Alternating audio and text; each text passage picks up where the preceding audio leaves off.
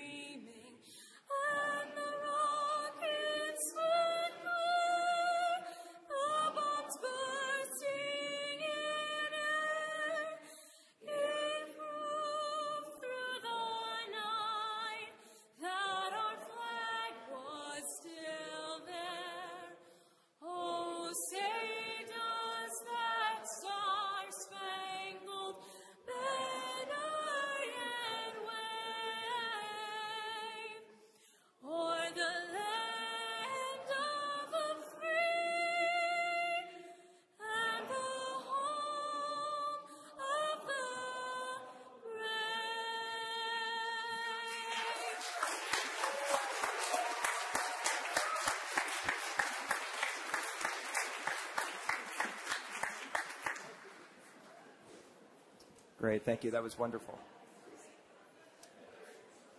Uh, Mr. Helmuth? Good evening. Thank you, Mr. Moderator Eric Helmuth, Chair of the Select Board. It is moved that if all the business of the meeting as set forth in the warrant for the annual town meeting is not disposed of at this session, when the meeting adjourns, it adjourns to Monday, May 15th, 2023 at 8 p.m. We have a second? Okay, all those in favor of, if we don't finish tonight, adjourning until Monday, May 15th at 8 p.m., say yes. All those opposed? It is, it is, uh, it passes. Is, is a majority vote. Uh, now we will take a test vote.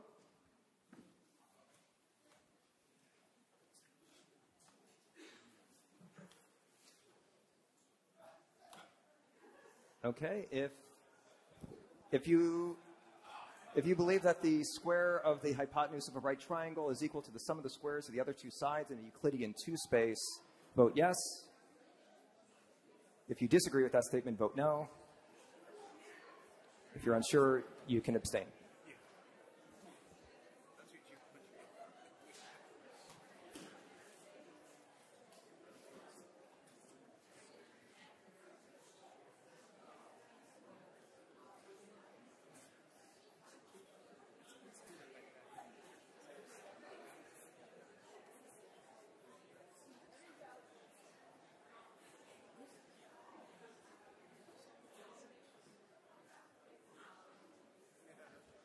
Okay, the yeses have it.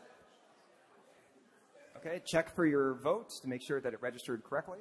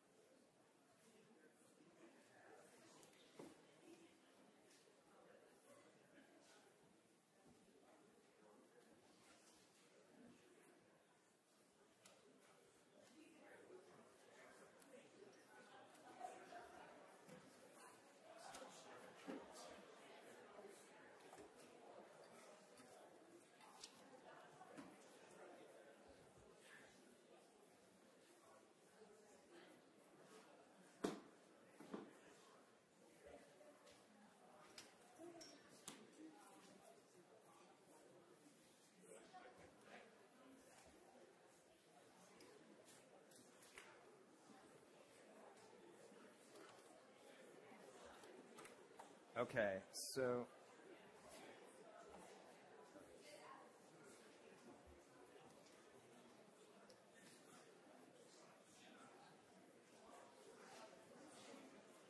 Okay, now I'll ask for any announcements or resolutions. Do we have any announcements or resolutions? Mr. Pooler?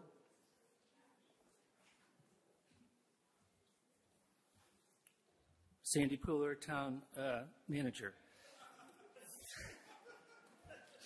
I guess I'm a funny town manager. um, on uh, Thursday, the 18th, the health department is hosting a, uh rodent forum. That's about rodents, not for rodents. As spring uh, is uh, well upon us now, I think a lot of us uh, would are having to deal with rodents. I know I am in my own backyard. And uh, this will be a forum about how to control rodents on your property uh, without using uh, dangerous pesticides, uh, other techniques, and so forth. It will be from 5:30 to 7:30 here in Town Hall. Great, thank you. Do we have any other announcements or resolutions tonight? Um, Mr. Warden?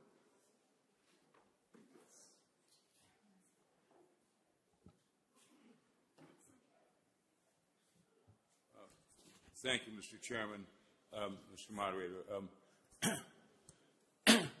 uh, last um, uh, la- last week, or maybe the week before, we, we, we passed a home rule amendment asking the legislature to let us discontinue the uh, publication of legal notices from the town uh, in the in the in the so-called local newspaper, and uh, so I thought I would call up the so-called local newspaper and see if maybe telling them that news would get them to pull their socks up.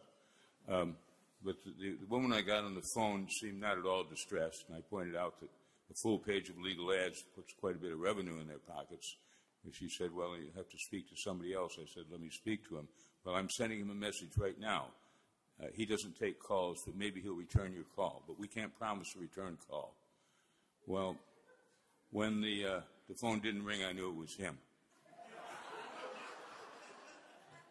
So um, apparently, they're not even willing to talk to somebody about the possibility that they might want to give put a lo- local news in the local newspaper. So I, I thought the town. I know there's some some derogatory remarks about the Advocate and Star, uh, and I share that sentiment. Um, so I thought you'd like to know that. Thank you. Thank you, Mr. Warden. Do we have any other announcements or resolutions? A hand in the back.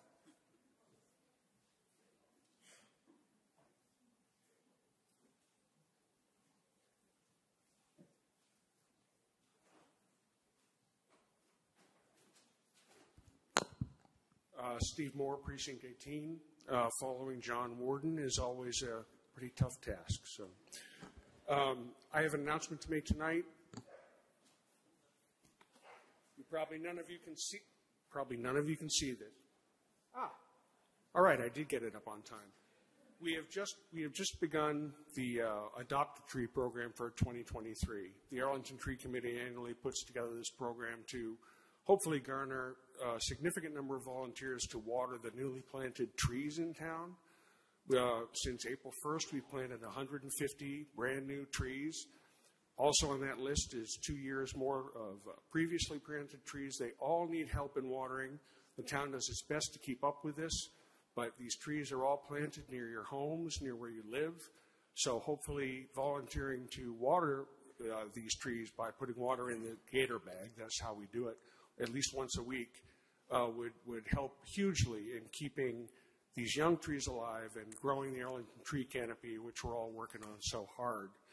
So, if you're interested, please go to the arlingtontrees.org website, which is uh, where we have all the links to our various programs, including the uh, tree canopy program, which has also begun this year.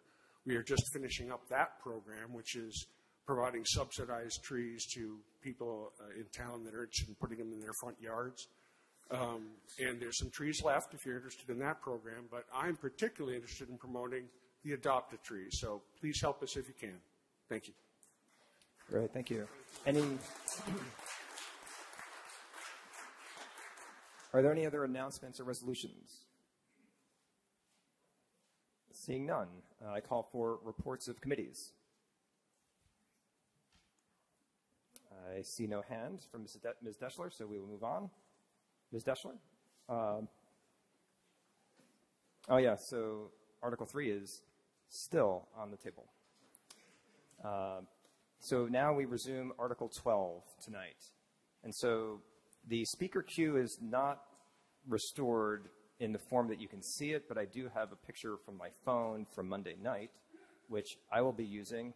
Uh, I don't think we have an easy way to actually show that, um, but it's the same list that you probably saw uh, for about an hour of debate on Monday. Uh, so I'll be going through those names in order. If we get to the bottom of my screenshot, then uh, then we will open the speaker queue at that point. So next up is Ms. Kelleher, which I believe she did not have the opportunity to speak. Okay, she passed. Uh, Mr. Holman.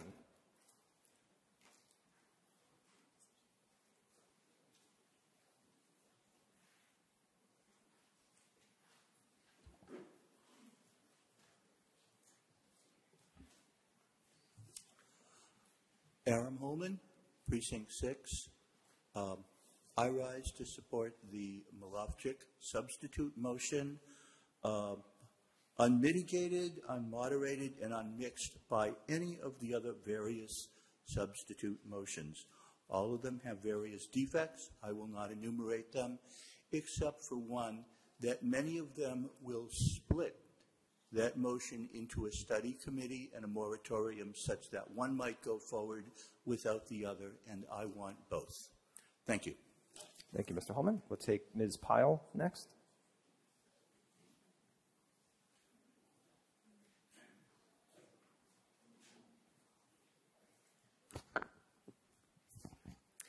Good evening. My name is Elizabeth Pyle, and I'm a town meeting member from Precinct 8. My 10 year old daughter plays soccer, and I would love to have more well draining soccer fields in town for our kids.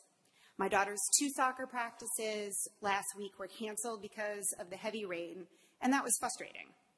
But I will be voting in favor of the original Malofchek substitute motion to have an artificial turf study group and a moratorium. The emerging science tells us artificial turf fields may not be safe, and the responsible thing to do is to look before we leap.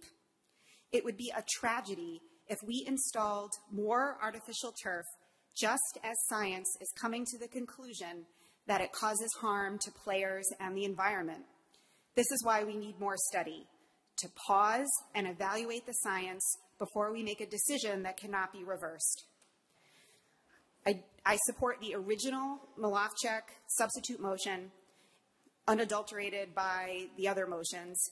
I do not support the Vakil amendment on PFAS testing for artificial turf because I think this is something the study group should decide as part of its work, and I'm also not confident that the listed standards in that amendment are correct. I do not support the other amendments because, although well intentioned, I am persuaded that they do not improve the Malofchek motion, and I don't want to split our decision on whether to pass a study group or a moratorium because we need both. I also do not support taking no action so that the town manager appoints a study group, although I very much appreciate that he is willing to do so and that he agrees further study is the right thing here. However, as the legislative body of the town, I think it is important that town meeting act because Mr. Pooler is retiring in a few months, which leaves a question about what happens after he leaves, and also because the study group should report directly to town meeting to ensure the most objectivity and neutrality. More study of this issue and a moratorium are necessary so that we can make sure we get this right, given the most recent emerging science on the dangers of PFAS. Now that Belmont Hill School has determined that the Poets Corner is not right for them, a study group and a moratorium should be an easy decision for us. Now, I've heard people ask whether we need to study this because they think that if artificial turf was causing cancer or other health problems in our kids, there would be lawsuits already and we would know about it. But I'm a lawyer, and that's not how the legal system works. It takes a very long time for enough evidence to be collected to proceed with a successful toxic harm lawsuit against a product manufacturer. And the facts that lawsuits have not been decided yet on this issue does not mean a product is safe. We all know that there are many products that were thought to be safe at first, but then it was scientifically determined later on that they were harmful to human health and the environment.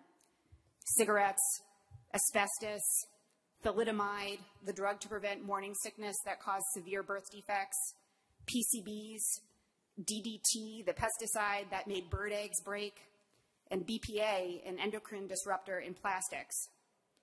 Here, Arlington should follow the precautionary principle, which means that if a product has a suspected risk of causing harm to the public or the environment, protective action should be supported even before there is complete proof. That's what I support here. The original Article 12 substitute motion sensibly and reasonably calls for an impartial study group and moratorium so that we can examine the recent scientific evidence on PFAS before we make a mistake that could harm kids and the environment. There are lots of signs around town that say, in this house, we believe in science. I believe in science. Arlington is a community that believes in science. But we can't just believe in science when it's easy, like banning the sale of single use water bottles or plastic bags. We can't just believe in science when it impacts other people, like implementing the energy stretch code for new construction.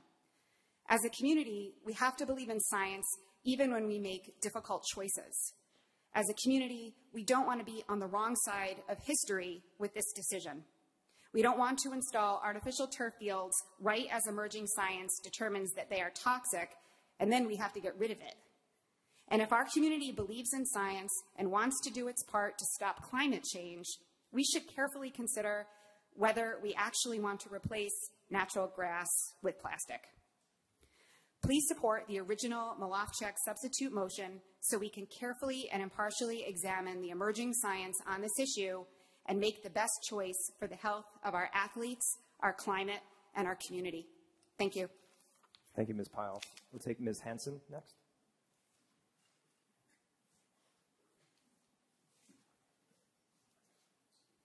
Actually, while, while Mrs. Hanson's walking, you can come up. Um, can we bring up the slide that I shared uh, that just it just shows the names and the ordering, uh, so folks have those in mind of the debate we want to be able to cover uh, all aspects of all these motions, and so any motions that don't get spoken to, um, we don't want to get into a position where folks aren't really sure what that's doing. So let, us try to cover as much as we can, which is a collective action problem, but you know let's do the best we can. Thank you, Ms. Hanson. Linda Hanson, Precinct 9. Good evening. Before I start my comments, I want to thank Krista Kelleher for the letter she submitted in relation to this article. Several of the points I'm going to make are taken directly from her letter with her permission. I want to start by saying that I have close personal experience with the issue of field adequacy and availability. I coached boys soccer for 13 long years in the all grass era, so I know firsthand what it's like to vie for limited practice space and attempt to reschedule games with limited options due to weather conditions. I've been there. With this week's withdrawal of the Belmont Hill proposal and the recent recommendation by the town manager of a study committee, the landscape for this article has somewhat shifted. It looks like no matter, no matter the outcome of the vote, we will have a study committee, and pass or fail, we no longer have the Belmont Hill Poets Corner offer and commensurate deadline hanging over our heads. Whether these developments are welcome news or not, they do give us a little more breathing room to hopefully regroup and figure out how to come together to address the field needs in our community. The factors in question, as I see them, are what is the best composition of the study group? Is voting or non voting membership important to determine? What is the charge of the group and the scope? What is the deadline for the work? Should there be a turf moratorium in place while this work happens? And who will the committee report to, the town manager or town meeting?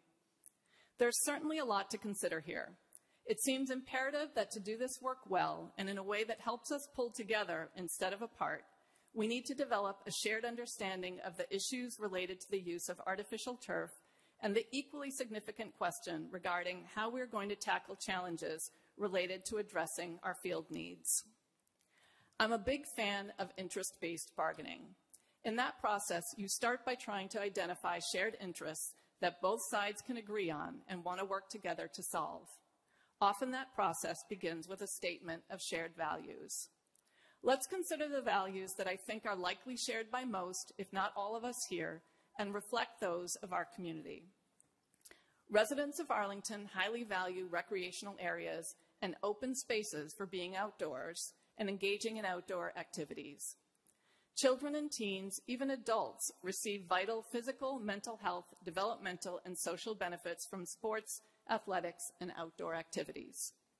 Residents of Arlington highly value the protection and conservation of our environment and are not only concerned, but proactive on the issue of climate change. Our town is a leader among mass communities when it comes to sustainability and conservation. It also seems necessary to recognize a few points on process and current conditions. There are not enough fields to meet the current and anticipated future needs and interests of children, teens, and adults in Arlington. Arlington has limited space for installing new fields. The current town manager has put a turf moratorium in place until he leaves at the end of his contract. While Arlington can look to and learn from what other communities and institutions have done, it need not be a follower of others, but should do what seems appropriate and responsible for the town, given the conditions, resources, needs, and values of the community. Due to the high school rebuild, the AHS fields have been offline. When they come back online in the near future, we will have two additional turf fields in our collection. And very importantly, to date, we do not seem to have undertaken or commissioned a comprehensive study and or analysis of the conditions of, adequacy of, or maintenance needs of our town's fields. Nor do we have a proposal for field development and cost analysis to address field needs, including present and future needs. I reached out to both Parks and Rec Director Joe Connolly and the Capital Planning Committee to ascertain if there was a study out there and learned there was not. We do have such a study for the town's playgrounds, and town meeting has been approving the renovation and major remediation of town playgrounds to the tune of $500,000 per playground for several years now, drawing on a variety of funding sources. I mention this because I think the need for investments in our fields is real. But without a comprehensive plan, it's hard to build a coalition to support the long term investment it will take to improve the situation and meet our current and future needs. With such a plan in place, we have many sources of funding that could be tapped for major field investments capital planning, Community Preservation Act, CDBG, general funds. Town meeting has jurisdiction for the stewardship of five and a half square mi- miles of our fragile planet. The science regarding artificial turf is evolving and complex.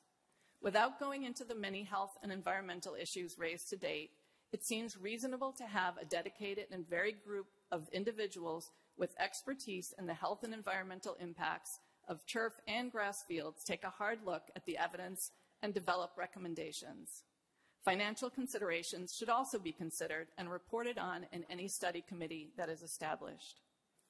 Finally, it seems that it would be beneficial for the town to conduct a thorough and comprehensive study of the state of our fields, including data regarding usage and unmet needs and a cost analysis for what it would take to better maintain what we have and what we would need to fund appropriate replacements, upgrades, and additional fields, field resources in the future. When the votes are all counted, whichever way it goes, we will have a study committee and a de facto pause on any major field projects in the near future. As a town and as a legislative body, I hope we can come together to make smart decisions that keep in mind our desire to increase field capacity while also being good stewards of our open space. Thank you. Thank you, Ms. Henson. We'll take Mr. Newton next.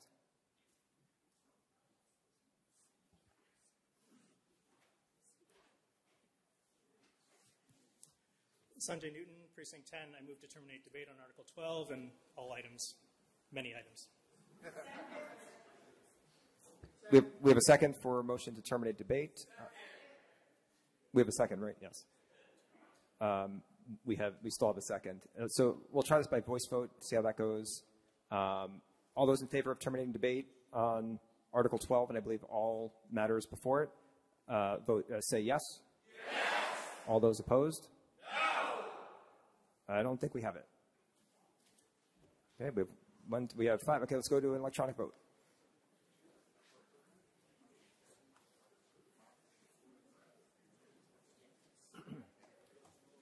And just to be really clear, this um, folks are still clicking into the speaker queue. I think voting is not open. Um, this is about terminating debate on all the motions that are pending. Because we're going to have one big debate, and then we're going to go through the sequence that we had up on the screen of motions for votes. So if you want, if you wish to terminate debate and go straight to voting, press one for yes. If you want to continue debate, press two for no and vote three for abstain or present.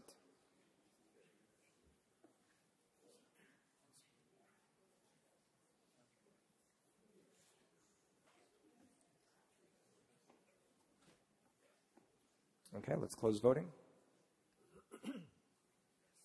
It passes.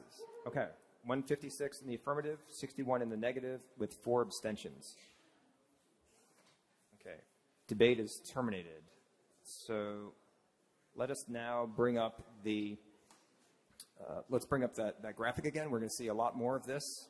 We're probably going to bring this up between each vote. And so we're going to start with uh, the Vakil amendment. And let's see. And can we bring up the composite document that I prepared? So that we can see this change in context.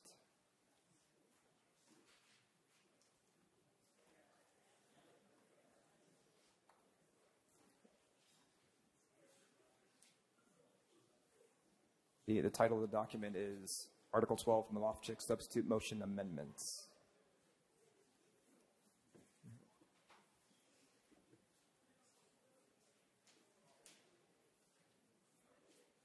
And Vakil is at the bottom.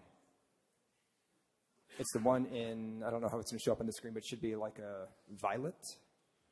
And it's labeled V, as in Vakil. And it's the last one there. This, add, this would add an item C to the moratorium section of the Malovchik substitute motion. Do we have a point of order? Mr. Loretti, microphone.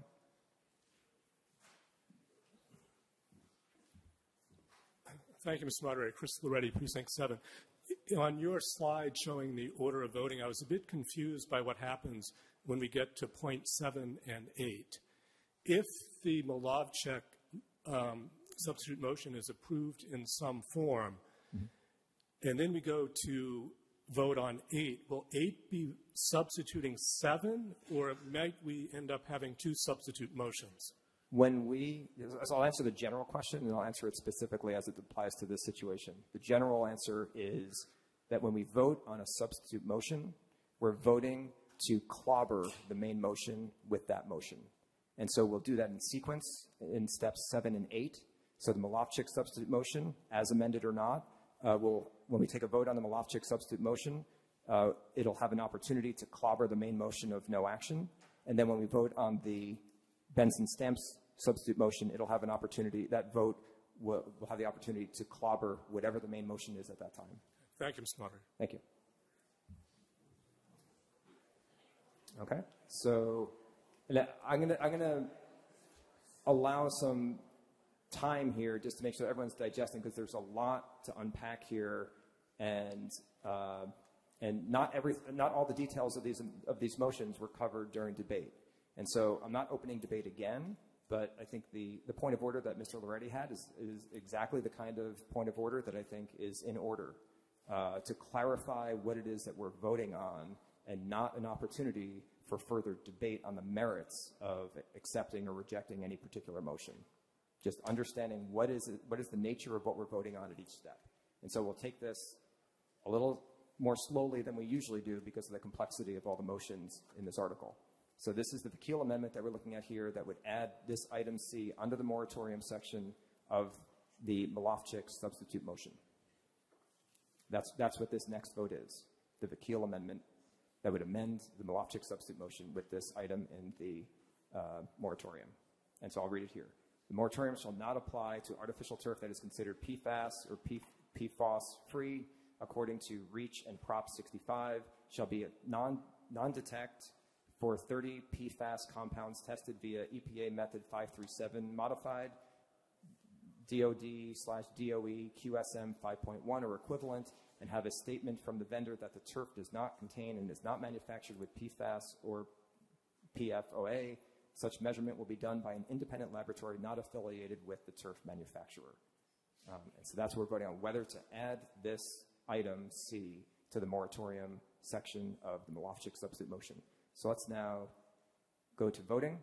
We'll open voting on the Vakil amendment.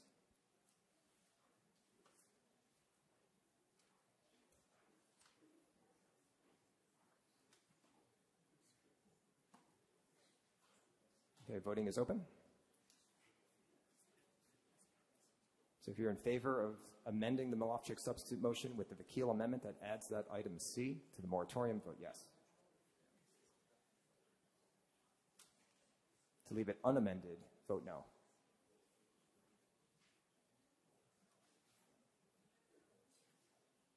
Okay, let's close voting. And the Vakil amendment fails. 88 in the affirmative, 135 in the negative, and two abstentions. Now let's go back to the sequence slide. Um, And so next we have the Greenspan amendment. Actually, we can just go to the document, that's fine. Uh, so number two in the order is the Greenspan amendment, which is colored in green, and it has the label G. And it, the amend, what's being amended is in two parts. First, there's the, uh, uh, the, the introductory paragraph of the vote language, which we see here. Uh, it's adding an exemption based on uh, land, like land that's, or properties that are exempt from the moratorium. The Arlington High School, including Pierce Field, was already part, that, that exemption for the AHS field, including Pierce Field, was already part of the Malofchik substitute motion. And the Greenspan amendment would add additionally an exemption to the moratorium for um, Poets Corner Park and any adjacent land that may be acquired by the town um, in the future. And so then we'll scroll down to the bottom, and we have essentially the same amended text in the moratorium section that just reiterates what I just described. So, in addition to the exemption for Arlington High School, including Piercefield, would be Poets Corner Park, any property there or adjacent to it that is now or in, or in the future and ends up uh, owned by the town. So that is the Greenspan Amendment. It's seeking to, uh, Mr. Jameson, do you have a point of order?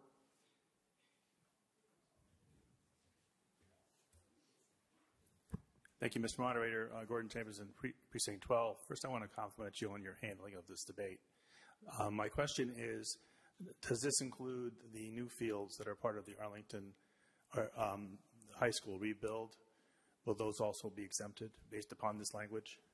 From the, are you asking about the, the part that's in the original Malofchik substitute motion? Yeah, just for context within the current amendment of moratorium stuff. I, will ask one of the proponents to be sure. Mr. Weinstein, you're, you're, you're saying yes? It does. Oh, okay, thank you. Okay, thank you. Okay, so once again, what we're voting on, so we have a point of order here. Mr. Gersh?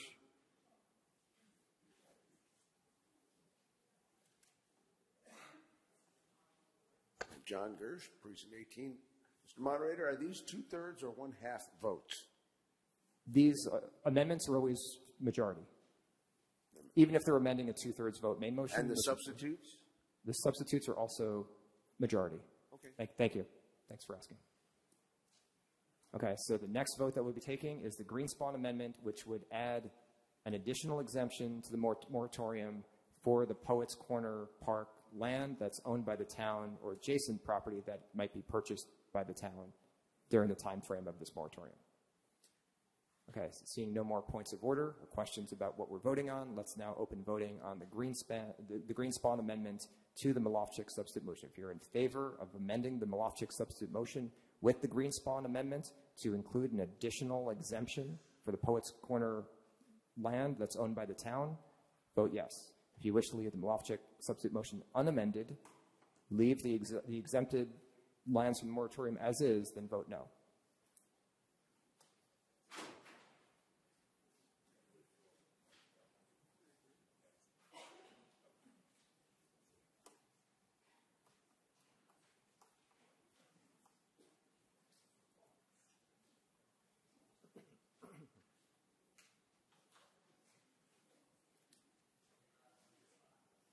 Okay, let's close voting. And the Greenspan amendment fails. 96 in the affirmative, 129 in the negative, three abstentions. Uh, let's now go back to the document. And next we'll be taking up the Schlichtman amendment. This is highlighted in gray in the composite document. And this reduces the this, the Schlichtman amendment would reduce the moratorium and study committee from two years to one year. So if we scroll through the document for those gray highlighted sections with the tag S for Schlichtman. Great. Uh, so this, I believe, we're looking at the study committee part. So the Schlichtman amendment, just to be clear, it amends both the, the, the duration of the study committee and the moratorium. And so, what, and you can see those pieces here. At the top of the screen, it amends the study committee from two years ending in 2025 to instead end in 2024. And in the moratorium, it similarly um, reduces that from ending in, 20, in two years to effectively one year, the 2024 annual town meeting. Yes, Mr. Rosenthal.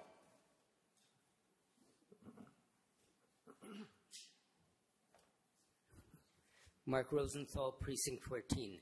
Mr. Moderator, I may or may not be uh, remembering correctly, but I was under the impression that the Schlichtman Amendment, in addition to that, also changed the uh, number of people on the uh, committee. Am I it wrong? does not, no. Am I incorrect about that? You are incorrect. Thank you. Point of order, Mr. Weinstein? I'll also point out, and I don't know if you're going to mention this. Go, go ahead. Uh, Jordan Weinstein, Precinct 21. I just wanted to clarify that. What's that? Well, let, us hear Mr. Weinstein's point of order. Oh, the point of order was to correct your um, your summary of what was being changed. Okay. The um, the, the Malofchik uh, the duration, the, the, the, duration was not two years. It was up to two years. It could you, be yep. less. You are correct. You're, yep, I stand corrected. Thank you. Um, let's see.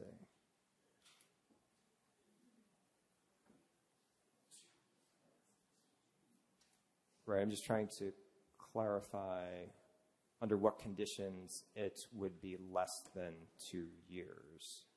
Is, is that up to the committee? Is that, yeah, Mr. Weinstein? You The duration of the moratorium is tied directly to the duration of the study committee. So if the study committee were to wrap up in a year, the moratorium would end in a year. That's the flexibility. Got it. Got it. Thank you. Thanks for that clarification. Um, and that was a reasonable point of order. Yeah, uh, uh, yep, Ms. LaCourte. I also want to add that there is a side effect of the Schlichtman Amendment which would allow the main motion, if, it, if the Schlichtman Amendment amends, if, it's, if you vote to amend the uh, Malofchik substitute motion with the Schlichtman Amendment and then adopt the Malofchik substitute motion as amended by the Schlichtman Amendment, then the main motion at that point would be divisible.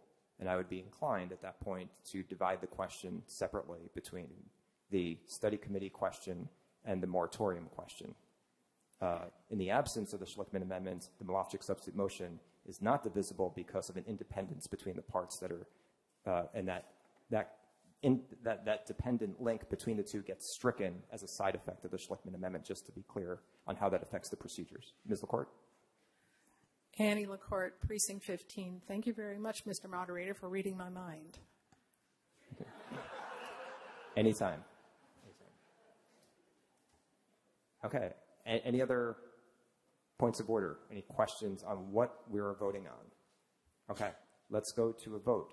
If you're in favor of uh, a vote on the Schlichtman Amendment, if you're in favor of reducing the maximum allotted time to the study committee and the moratorium to one year through the Schlichtman Amendment, vote yes. If you want to leave the Malofchik substitute motion as is and allow up to two years for the study committee and the moratorium, then you can vote no to leave it unamended.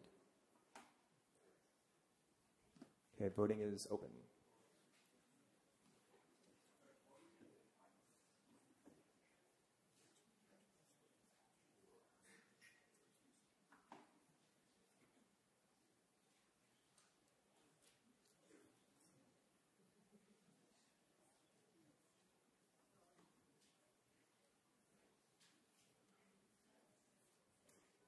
Okay, let's close voting.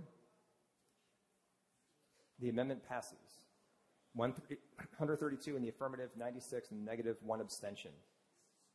Um, now, just one more point on this. Um, I'm going to belabor this a little bit because there's a lot of complexity here, and which I want to make clear so everyone knows what they're voting on, what the implications of those votes are. The Malofchik substitute motion, as it stands now, is now amended by the Schlichtman Amendment the Malofchik substitute motion itself is not actually divisible because substitute motions are not divisible. If the, because you can't, you can't substitute a part of a substitute motion for the main motion. If the current state of the Schlichtman, of the uh, Malofchik substitute motion, as it's currently amended, if, if it becomes the main motion through substitution, the main motion at that point will be divisible. I know it's a minor point, but that's where we're at right now. So now let's look at the Palisade Amendment. This is highlighted in blue in the composite document. And this would grant voting rights to all committee members. So let's now, we scrolled there? Perfect. And I believe that's the only section that's amended by the Palisade Amendment. And so you can see, you can ignore the orange highlights because that's a different motion that we'll get to. Um, the Palisade Amendment would strike the distinction between the voting and non-voting members and just make all the members of the committee voting members without changing the composition of the committee aside from voting rights. It's just changing the voting rights from, uh, let's say, in the, just to be clear, in the Malofchik substitute motion, there are uh, three non-voting members, the Director of Public Health or its designee, the Director of Recreation or its designee, and Superintendent of Schools or its designee. Oh, you can see my highlights, great. Um, so these, these members here, under the Malofchik substitute motion as it currently stands, are not voting members. Through the Palasadi Amendment, they would become voting members, along with all the other members that are already listed there. Any points of order, any questions on what we're voting on? Again, this is not opening debate, just clarity on what is the nature of what you're all vo- voting on. Yep, yep. go ahead, Mr. Jameson. Thank you, Mr. Moderator. Gordon Jameson, Precinct 12. I only see five.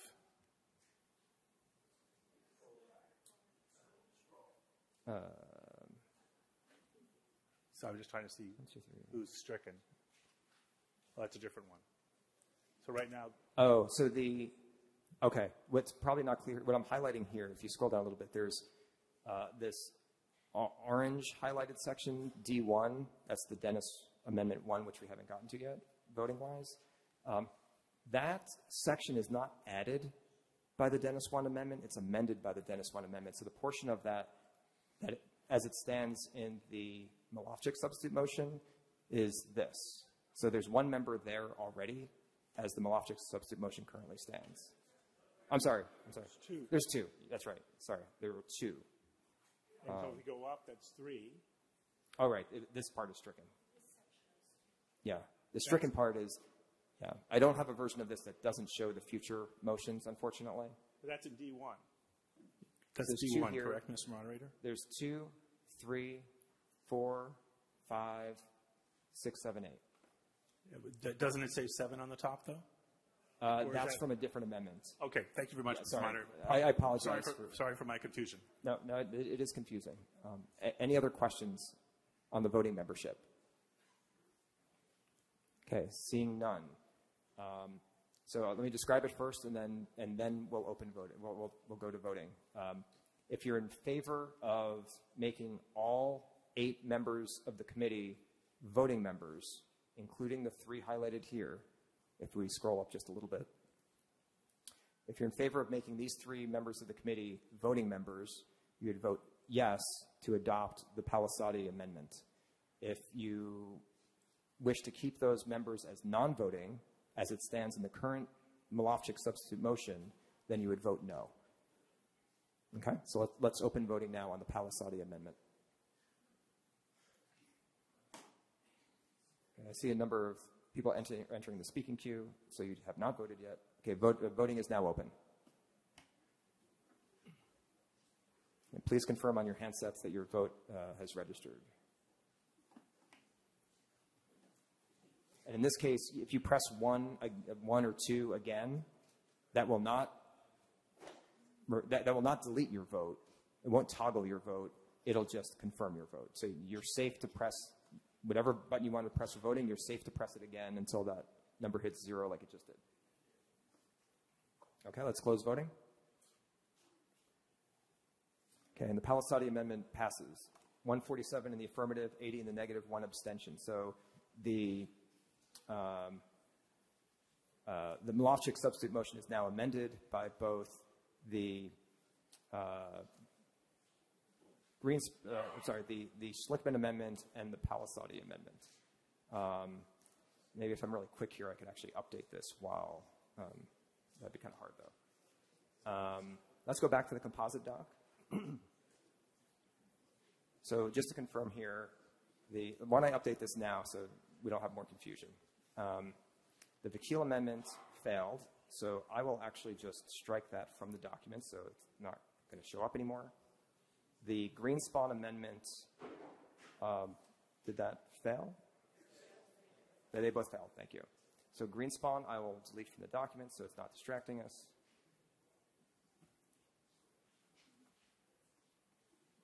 Apologies for doing this real time. I didn't have the time to work out all 66 possible combinations ahead of time. Um, let's see. And Palisade passed. So yeah. So Palisade now, it, but it struck that, and then I'll, I'll just inline these changes here so it's more clear.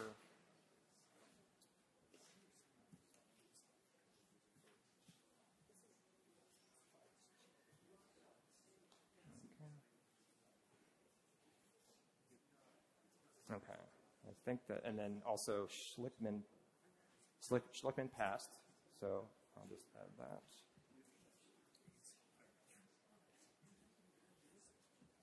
All right, that's probably good enough for now. And, okay, so now we are at Dennis Amendment 1. This is the orange one. This would change the number of members from eight to seven. And, yeah. And this appears in three places. Yep. The first place is just changing the number eight to the number seven. The second place is it's amending this section A24 here by changing it from two residents um, who've, show, who've demonstrated experience working with local envi- environmental advocacy or nonprofit organizations to be appointed by the town moderator, changing it from that in the initial uh, substitute motion to one res, from two to one resident, neutral on the issue of artificial turf, to serve as the chair of the committee and to be appointed by the town moderator. So it's changing two of those appointees to one, and that one appointee under the Dennis one amend, Dennis Amendment one would be the chair of the committee. And then we go down to the third, or the, the third section that's amended here, an organization of the first meeting, and this is just clarifying, this is changing now, it's a side effect of the previous change, that the Malofchik substitute motion initially called for the first meeting to take a vote on the chair of the committee going forward. And with the, the change in the Dennis Amendment 1 is that the chair was already selected via appointment by the moderator. And so the chair is not voted by the committee in the case of Dennis Amendment 1. Do we have any questions about that? Okay. So let's open voting now on whether to amend the Malofchik substitute motion as amended by Schlichtman and Palisade amendments.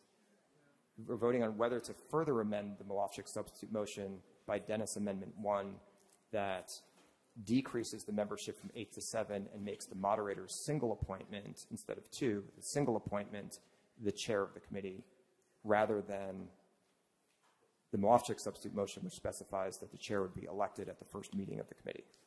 Okay, so let's open voting now for Dennis Amendment 1 that makes that change to the composition and the chair status of the meeting. So if you're in favor of the Dennis Amendment 1, vote yes. If you want to leave the Malofchik substitute motion as is, as it's already been previously amended but no further at this point, then you can vote two for no.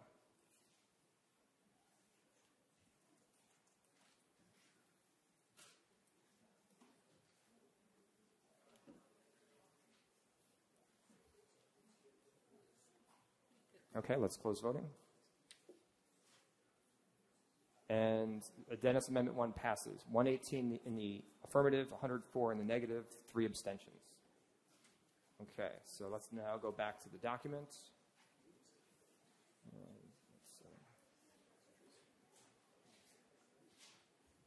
And we are now taking up Dennis Amendment 2. This is the last of the amendments to the Malofchik substitute motion.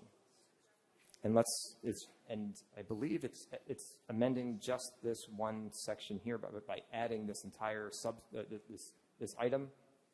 Yeah, that's the only change it makes. I'll just read the whole thing. Uh, it says under committee charge and reporting uh, for the uh, study committee. it would add to the charge the study committee's investigation shall include best practices of site specific design, procure- procurement, and stewardship of turf drawn from the experiences of other municipalities. These practices shall include, but not be limited to, the certification and testing of turf components, maintenance plans that extend the turf's useful life, the choice of turf infill, downcycling options for the turf at end of life, recovery and reuse of infill, stormwater drainage with filtration and testing, mitigation of infill uh, migration, and pre-development soil and groundwater analysis reference points. So a vote in favor of Dennis Amendment 2 would add this item here to the study committee's charge. If you wish to not add that to the Malofchik substitute motion as previously amended, uh, then you would vote no. Do we have a point of order here? Yeah, yeah come on up.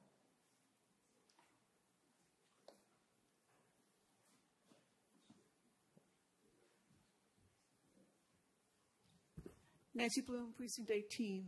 Mr. Moderator, I just have a question regarding the Dennis 2 amendment. Um, does that mean this is only speaking to artificial turf, or are we talking about both artificial and natural? Let's see. It does say uh, design, procurement, and stewardship of turf drawn from the experiences of other municipalities. Now, I, I, I didn't answer your question. I just read the text, and I only, I only understand it as far as the text. Uh, I can't speak to what the intention of that was. Uh, maybe uh, Mr. Heim, would you care to offer an interpretation? Yeah.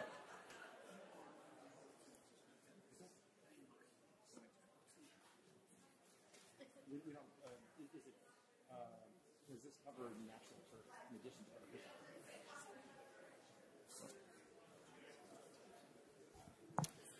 Doug Heim, Town Counsel. I don't want to speak, I want to be somewhat careful here and speak for the folks who offered this amendment, but my understanding of it is that it's trying to offer a more comprehensive study that includes uh, a broader range of solutions and products, so it's not just one type of artificial, well, the type of artificial turf that we've really been talking about, but what are the sort of more cost-benefit analysis of that, alternatives, et cetera. I think that's probably consistent with the alternatives analysis we engage in in some other settings. Mr. Moderator, I'm just conscious of the fact that I'm not the proponent of the amendment, but that's how I read it. So you're reading as if it's artificial turf, different kinds of artificial turf, and we're not talking about possible. I, I want to be, sorry. I don't understand it because I didn't write it. I, Doug Heim, Town Counsel. Again, Mr. Moderator, I don't want to speak for the proponents of this amendment, um, but my interpretation of it is, is that there's probably a wider range of products out there, including products with natural turf that sometimes have a subsurface layer underneath them. So I, I would assume that this is charging the committee with studying a pretty broad, broad range of products, including what might be considered natural turf, but isn't like a, you know, just a naturally growing grass field. I, I'd like some confirmation that that's within the what they've contemplated, Mr. Moderator. Yeah, I guess the question is uh, because I don't want to reopen debate necessarily, but also I'm wondering if uh, if it's relevant what the intentions of the proponent are because we're voting on the text. Yeah. Right.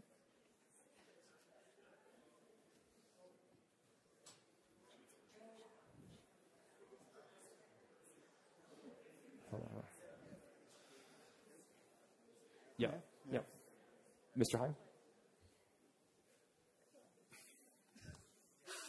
So uh, I would interpret it as broadening the scale. So the words uh, site-specific design, procurement, stewardship of turf, drawn from experience of other municipalities, would lead me to believe that what this amendment is contemplating, for example, since we've been talking about like Poets Corner, you've got a grass turf over an uncapped landfill, and I think it's asking to uh, look at what the best practice is for including natural turf. Um, understanding that the definition of natural turf might be a little bit uh, fluid, um, over those types of surfaces. Because um, it says, for example, certification of testing of turf components. That's probably, in my interpretation, relative to more artificial turf, but at the same time, you're talking about um, infill downcycling options, again, uh, probably artificial turf, uh, recovery and reuse of infill stormwater drainage. There are certain things that um, sometimes are underneath a natural turf field that are help, meant to help drain it. Um, and then pre-development soil and groundwater analysis is kind of independent of whether it's artificial turf or natural turf. So So some components are applicable to one type of turf versus another, or both potentially. Yeah, and I mean the way that it's the way that it's written. Um, again, when you're talking about site specific, I, I think you're trying to examine what the conditions are, you know, for some of the fields that we've been talking about, and then you know what the practice are is for the different pieces of turf that isn't usually just grass seed necessarily. So. I- I guess I- I do think that this is primarily talking about artificial turf the way that most of us are talking about it. I just want to be clear that there are options, to my understanding, that sort of involve some hybrid technologies. I I don't know that it's just talking about grass seed, but I don't think that that's the way most of these fields are constructed in modern uh, parlance. Thank you. It's- hey, we had a point of order from back there? Yes.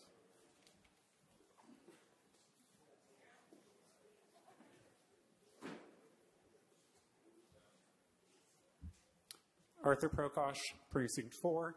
Mr. Moderator, uh, I'd like to know if Town Counsel could comment on whether we're looking at uh, Article or subsection A1, AI1B here, article, or subsection AI1 directly above it, uh, whether that uh, larger article would Ah. govern that larger article says the study committee shall investigate artificial turf.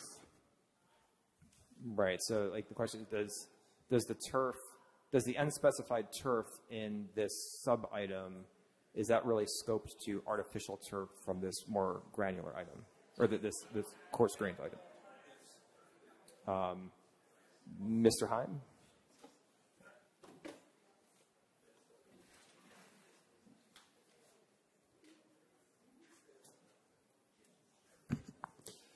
Doug Heim, Town Counsel. Oh. Obviously, But there's also, I'm sorry, just if I can interrupt, as well as available natural alternatives to its use. So.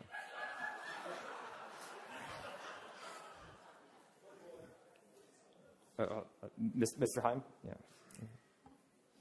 Doug Heim, Town Counsel. Again, I think we're obviously talking primar- primarily about artificial turf, but within the context of the amendment as it's written, we're clearly opening up the scope a little bit to consider what alternatives are available, how these things are composed. I, I, I think that the best way to read it is that it's broadening the charge. So it could certainly include certain types of uh, uh, quote unquote natural turf, but it, it, it's, it's, it's clearly meant to expand it beyond, I think, what we've just been talking about in terms of the quote unquote plastic fields. Thank you. Great.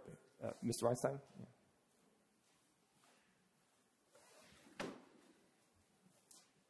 Jordan Weinstein, uh, Precinct 21. First of all, I, I don't understand why Dennis is not up here to explain what he meant. But, but my point of order is well, we're talking about the definition of what we're voting on, so we have to know what we're voting on. In reading the literature, uh, the industry literature about artificial turf, tur- Wait, wait, wait, wait, wait, wait, hold on. Everyone. Let's, I, I have not called scope. I, I'm about to, but go ahead. turf, turf is defined, is used it, to, to express artificial turf. That's what it means. Okay. So- how is that not? How is that a point of order? Okay, so that's a point of information, which, as we've already covered, is not in this book, but um, Mr. Schlichtman. And, and the reason, just to answer the question, the reason why I'm at, not calling uh, Dr. Dennis, the, the opponent, up here is that we're now, we're now at the, at the stage of interpreting the text. And so someone, whoever's enforcing this or, care, or executing this, like the study committee, they may or may not ask the proponent of this. They might just be going from, we have to go from the charge. Mr. Schlichtman? Uh, point of order. Uh, Paul Schlichtman, Precinct 9. Because we can't staple Mr. Dennis to the copies of the resolution as it moves forward, uh, we're stuck with this language, whatever it is. So, whatever it is and however you want to interpret it, I think, am I not right that that is what we're voting, this language, and nothing in this discussion or all these points of order will change this language. Thank you for the point of information. That was not a point of order, Mr. James. Uh, we have actually one, there's a hand back that's been up back there. Okay. What could possibly happen designing something by a committee of 252 people?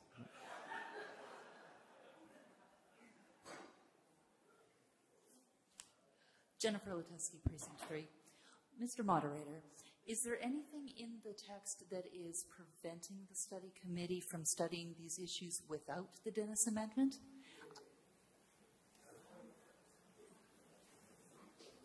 I.e., do we need the Dennis Amendment in order to address these questions?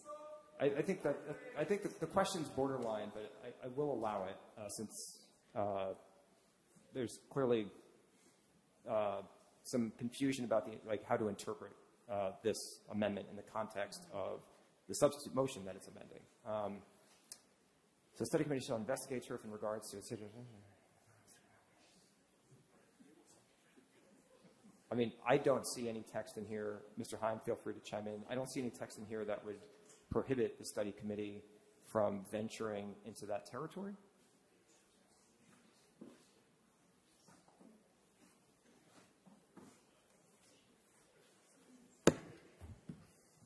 Doug Heim, Town Counsel. So I think it's pretty clear that the, that the overall language here is meant to aim this at artificial turf and its relative safety. In the committee charge section AV AI 1, it says it shall investigate artificial turf in regards to its safety, environmental effect, and cost effectiveness, as well as the available natural alternatives to its use. So, generally speaking, I think that the alternatives are within at least contemplated for the study committee. I do think that the amendment is asking to more uh, is asking to focus uh, almost as much on those alternatives as uh, the artificial turf. But I would say that it's within scope for them to consider, hey, what are the alternatives here? Um, I don't know that it's asking to engage in quite the same sort of cost benefit analysis. And Thank Mr. you. Heim, if you could, st- did you have more? Or Uh, yes, I, I did want to clarify. My apologies for not being clear. I wasn't concerned about the is natural turf included so much as do we need this amendment to inclu- consider best practices? Okay, so I can answer. I, I- think I can answer that. So, Mr. You might want to get ready uh, at a podium. The word "shall." I believe that my understanding is that I'm not a lawyer, uh, but best practices are that the preferred verb here is must, but "shall" is usually used as, uh, you know, uh, as a synonym for that, even though it, it, it's a little bit watered down. But my interpretation of this, correct me if I'm wrong, Mr. Heim, would be that this is effective, that word shall is effective requiring the study committee with the Dennis Amendment to, to look at these things. And in the absence of this amendment, the study committee would just not, not be required to look at these things. Is that your understanding? Doug Heim, Town Counsel, correct. So if you look at the Dennis Amendment 2, it's essentially including what's sort of mandated, not necessarily optioned, to include uh, best practice and also site-specific design would be the other major um, component, as well as some specific uh, uh, other elements that while I presume a committee would probably want to look at if it's just looking at artificial turf, um, would uh, is is sort of directed within the scope of this amendment. Thank you. Thank you. Thank you very much. Okay, so just to be clear, my understanding is that I think uh, our uh, joint understanding is that Dennis Amendment 2 would add these requirements to the study committee. And so if you're in favor of adding these requirements to the committee's charge, you would vote yes on this amendment. If you don't want to add those requirements, um, but the study committee could optionally look into these things if they wish to, perhaps, uh, then you would vote no. Thank you very much. Okay, do we have another hand? Mr. Rosenthal?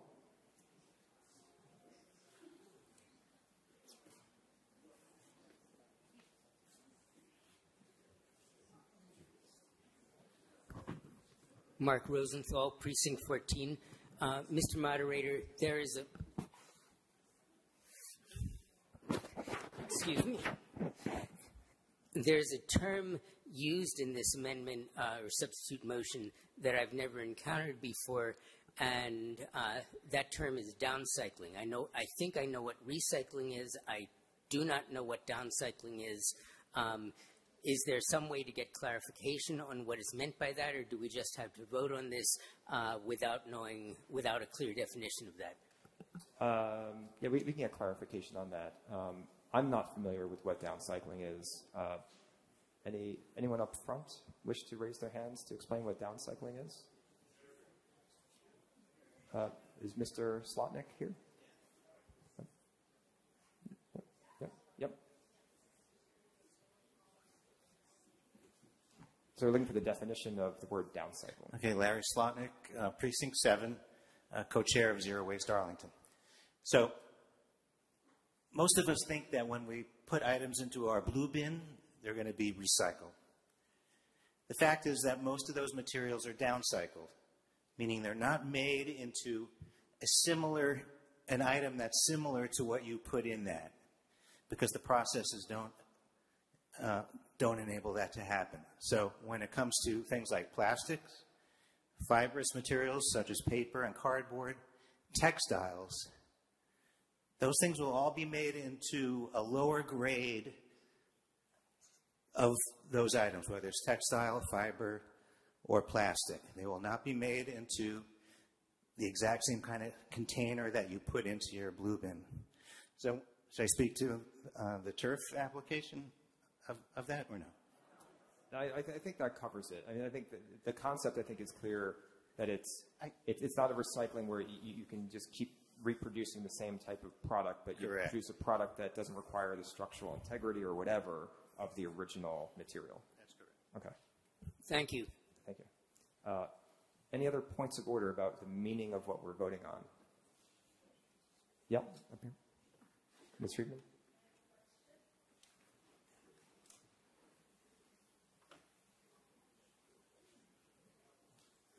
Beth Friedman, Precinct 15. Um, I don't quite understand how you can evaluate a site-specific design because it doesn't anywhere say what the site is. Well, I think that'd be the sites that are being considered for installation of turf. Um, okay, do we have any other questions about the uh, Dennis Amendment 2? Okay, so let's let's go to voting. So just uh, to, as a reminder, if you wanted that section that we've been studying for the last several minutes, if you want that added to the Malofchik substitute motion, you can vote yes for the. Can, can we scroll up a little bit? Uh, the other way? Sorry, I meant down. Yeah, there we go. Um, if you want to add this yellow highlighted section to the Malofchik substitute motion to include this requirement uh, on the study committee's charge, then you would vote yes to amend this, the Malofchik substitute motion with this new text. If you wish to not add it to the Malofchik substitute motion, you would vote no. So let's now open voting on the Dennis Amendment 2.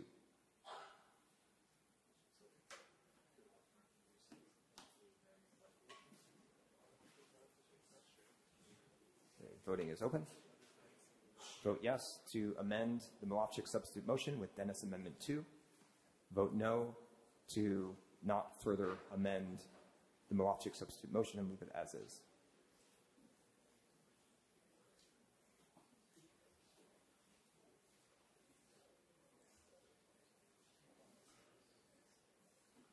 Okay, let's close voting. And the motion passes. 126 in the affirmative, 95 in the negative, three abstentions. The Malofchik substitute motion is now amended by the Schlichtman amendment, the, Pal- the uh, Palisade amendment, um, both Dennis amendments? Did amend, okay, and both Dennis amendments. And so now that brings us to the Malofchik substitute motion as amended. So let me quickly.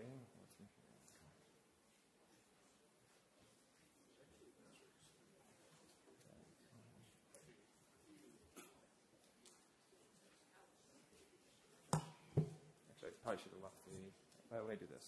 Do. If I want to make a point of order, can I do that? What's that? Uh, yeah, do we have a point of order? Yeah, I had a point of order, but I unfortunately Uh, put it I'm, on. I'm sorry. on Na- na- name and precinct, please. I'm, Yeah, Mozina, precinct four, uh, whatever, 15, prior and 11. Now I know how to make a point of order. Okay. Point of order. Yes. How to make a point of order for, Uh, you, you state your point of order. da. I know how to do it. I was on the speaker queue by mistake. Point of order. Uh, what, what is your point of order, Ms. Bazima? She doesn't have a point of order. She is um, over with her clarification and confusion. Oh, okay. Thank you. Point of order. No, no, no confusion. Okay. Uh, we have a point of order back there? Yep. You see a hand raised in the back? No, yep. Uh, uh, either of you.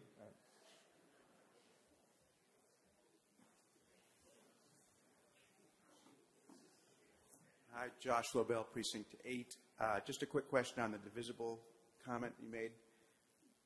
Do you- Is the um, Stamps Benson substitute motion not divisible because it's not amended? Is that what you're suggesting?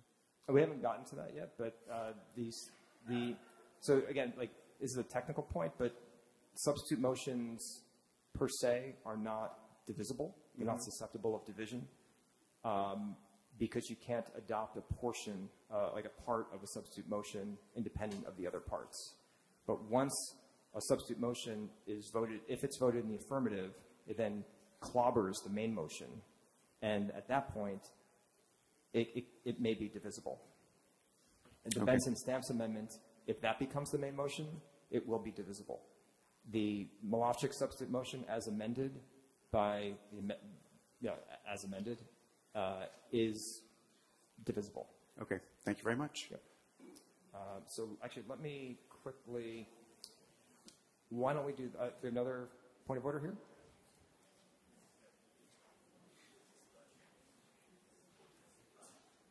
Beth Elliott, Precinct 10. I just wanted to clarify the purpose of, like, so if we vote yes to substitute the motion, that just makes it the motion that we can then vote yes or no. It'll make it'll it'll take the Malofchik substitute motion as amended, and it'll make it the main motion.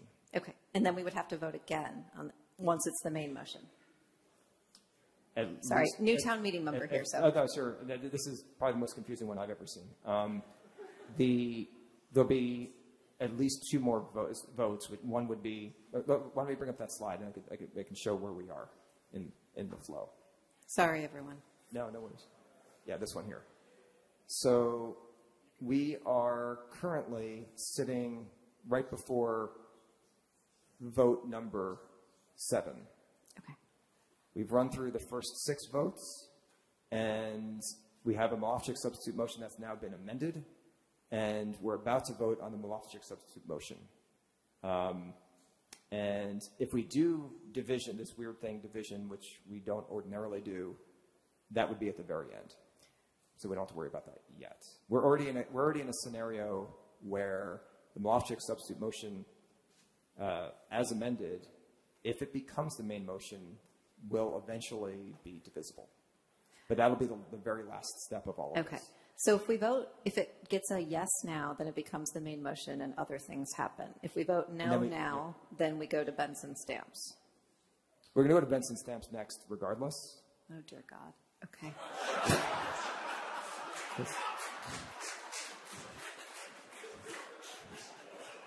Point of order. Uh, uh, well, we're in the middle of a point of order right now. So, did you have anything further in your point? I guess I'll let you know. Okay. I'll, I'll, make it clear. I mean, I don't need to run through everything. Uh, I'll go through each step, what we're doing at that point. Was there a point of order somewhere that I heard? In the, in the back? Yep.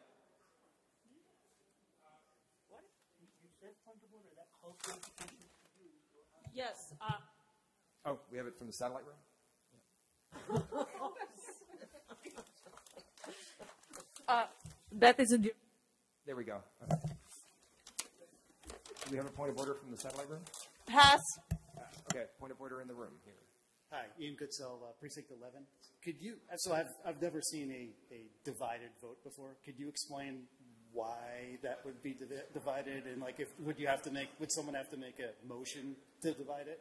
Uh, so, so I have explained this before. I'll explain it very briefly Thank you. here, which is that uh, ordinarily a motion can be made from the floor, like an, like an amendment and so on. Uh, a motion can be made to divide a question if the parts are independent of each other. Um, because in this case, because this, uh, this article, the motions under it are so complex, debate happened all at once. And now that we're going through voting, there's no longer any opportunity for debate. And what we're doing right now is not debate. I'm just taking a series of points of order because there's a lot of confusion because it's very complicated. Understood. And so, uh, as moderator, I have the discretion to divide questions without a motion. And I intend to do it in this case because the meeting won't have the opportunity at that point to offer such a motion because it's just going to be a sequence of votes with no intervening debate. Understood. Thank you. I didn't understand. I didn't Yep. get that ahead of time. Thank you. Uh, anything else? Yeah, Ms. Stamps.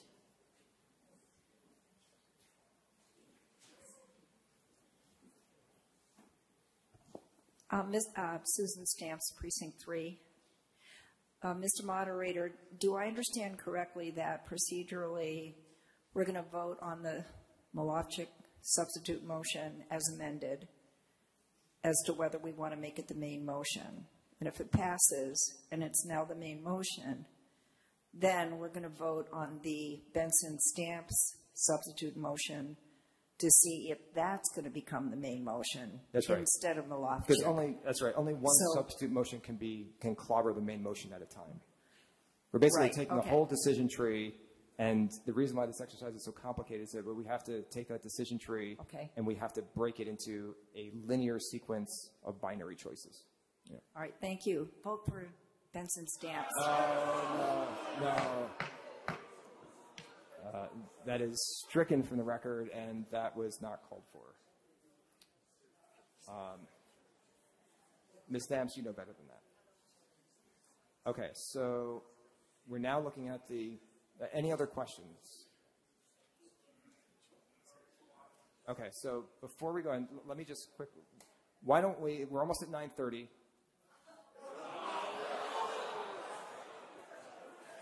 Hold on. Well, here's the thing. I know. I know everyone wants to vote at this point, but if we take the break now, it'll give me an opportunity to update the document, unless everyone's very clear on what we're doing. I, I, I don't know how to interpret any of that. Um, okay. Hold on. Hold, hold on. Hold on. Okay. So okay, we'll, we'll, we'll do this right now then. But I'm going to update you. But the compromise is you're going to wait for me to edit the doc real time, and it's going to be very painful for all of you. Um, and I'm going to take my time. Okay. So if, if you want to bring up the doc, so we can show this, so we can make, so it's painful for everybody, not just me. Um, let's see. So the Greenspan amendment failed, correct? So I will just remove that.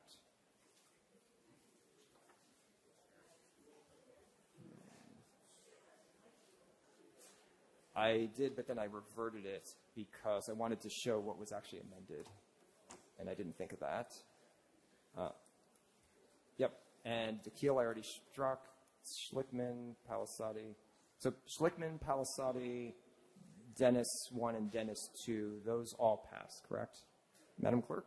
Yes. So, okay, so I'll, I'll just leave it at that. And so now we'll slowly go through section by section so we know what you're all voting on with the, with the, the Malovchik substitute motion as amended. Okay. So nothing in the introductory paragraph. And we have a point of order? Where's that? Yeah.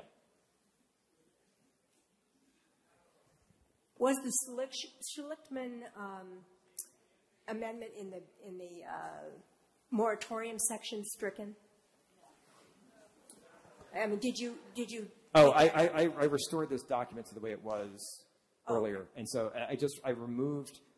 Uh, I just yeah, this actually didn't take me very long. I overstated it. I was bluffing, and you caught me on it. But um, the only ones that I removed were the that I struck from this document were the amendments that failed.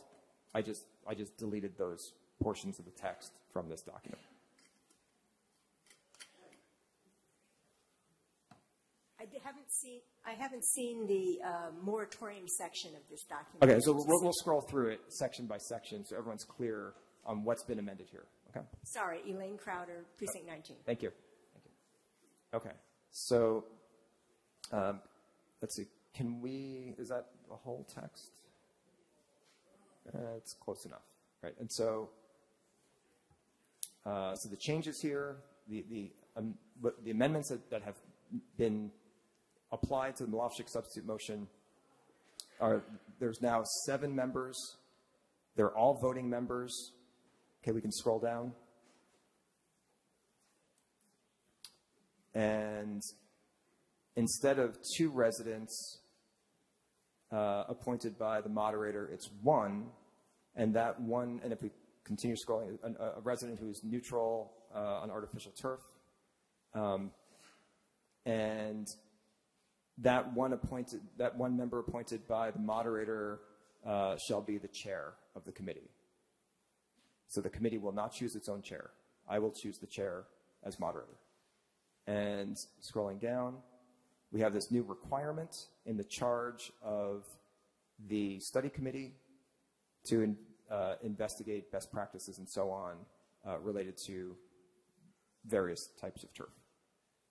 And scrolling on, and the study committee uh, will continue for one year until the 2024, until the, yeah, uh, the dissolution of the 2024 annual town meeting. And the moratorium as well uh, will run until the dissolution of the 2024 annual town meeting, provided that subsequent. Uh, yes. And that's it. So that is the Malofchik substitute motion as amended. Okay. Seeing no points of order, let's go to a vote on the Malofchik substitute motion as amended. Point of information? Point of information? Uh, It's ex- extremely quick. Is it a question or? Yes. Okay, it's a okay. Is- point is- of order. Is, is the Benson stamps substitute motion going to be amended in the same ways? no. Okay, because I There, can't. there, there are no amendments on that. Okay, I can't vote without knowing that. Thank you. Okay, thank you. Okay, voting is now open on the Malofchik substitute motion as amended, as we just ran through.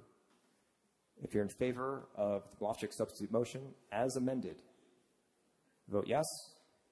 If you want to leave the main motion as no action, vote no. The main motion is currently no action. We're voting here whether to replace it with the Malofchik substitute motion.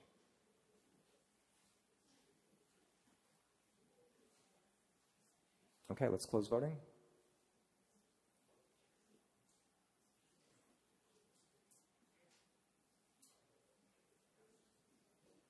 And the motion fails.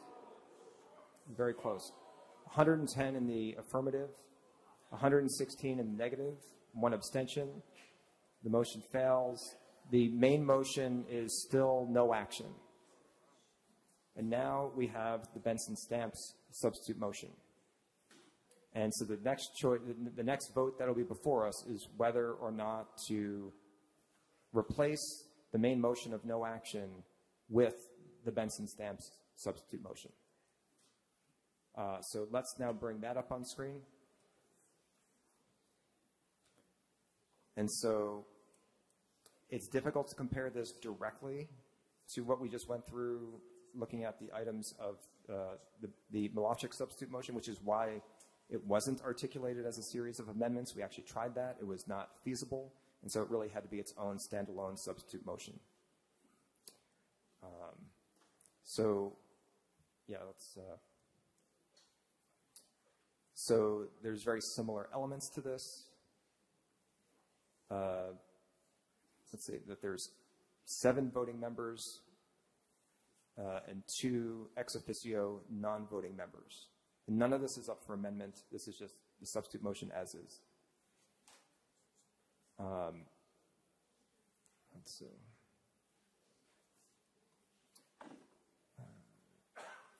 Yeah, and the, first, like, uh, can you scroll back up a little bit? Because this is something that was amended in the Malofchik substitute motion about, I can stop there. Uh, item D, the organization and- first meeting. Um, it'll be convened by the Director of Health and Human Services or the designee. And the first order of business should be the self-organization of the committee through election of one or more chairs. So the committee will choose its own chairs, um, like among the voting members. Um, the, committee charge and reporting is these two items A and B under item two. review and report on artificial turf, its health, safety, and environmental impacts and potential mitigation measures in comparison of artificial turf to natural turf fields. Study committee shall complete, so it'll be required to complete its work and report its findings to town meeting and the select board no later than 30 days prior to the 2024 annual town meeting or any, or to any earlier special town meeting if the report is ready earlier. The committee will be dissolved uh, concurrent with the dissolution of the 2024 annual town meeting, unless there's a vote at the town meeting to uh, uh, to dissolve it uh, uh, earlier or to extend the committee. And then the moratorium on the construction or, inst- or installation of artificial, artificial turf on town property will take fl- place immediately if, if it actually gets passed as the main motion. Um, and will remain in effect until dissolution of the 2024 annual town meeting. So I believe all the elements basically expire uh, at or adjacent to the 2024 uh, annual town meeting, um, unless there's a vote at town meeting to effectuate an earlier or uh, or later uh, moratorium with a future vote. But the default would be dissolution of uh, or the, the, the, the end of the moratorium and the study committee by default would be at or around next year's annual town meeting. So one year. Um, and similarly to the Malofchik substitute motion, there's an exemption uh, for the Arlington High School grounds, including Pierce Field, uh, where the moratorium would not apply to those uh, to those fields. So that's similar as the previous substitute motion. Do we have any points of order on the Benson Stamps substitute motion? Okay, seeing none. Let's go now to, so if you're, right now we have a main motion of, oh, we, we do, okay, and this had better not be any advocacy for, okay, Ms. Stamps? And so the main motion is still no action, and the next vote will be on whether to substitute the Benson Stamp substitute motion in place. Ms. Stamps? Susan, I'm, sorry. Susan Stamps, Precinct 3, and I do apologize to the meeting for my little outburst there a few minutes ago. Um, just a point of order. I think there was one element that, Mr. Moderator, when you were going through that you didn't mention that might be important to the meeting, which is the conflict of interest rules for the committee. I did not. Let's, let's scroll up to that. Thank you. Yeah, right. Uh, let's see where.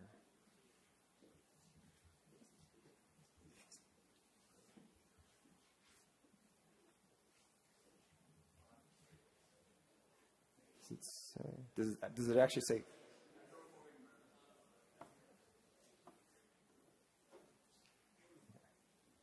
doesn't say. I didn't see the word conflict in here. Does it say something else? Oh, okay.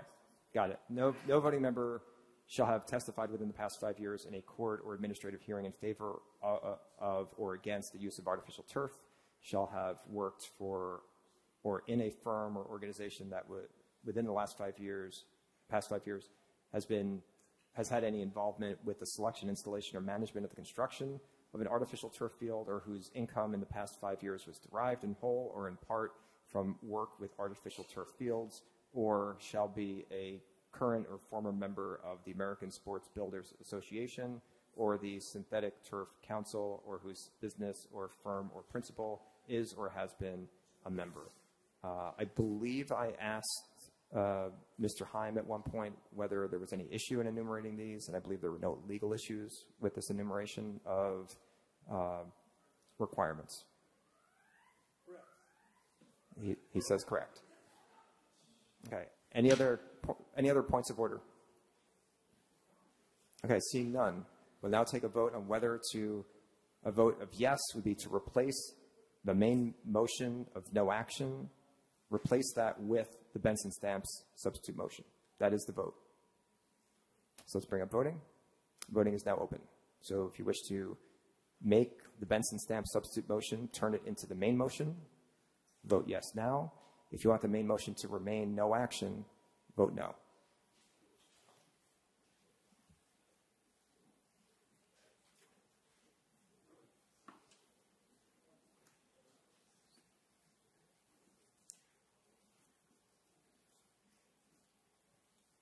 Okay, let's close voting. And the motion passes. 117 in the affirmative, 110 in the negative, and one abstention. So now, if we can go, if we can go back to the the, uh, the slide of the vote order.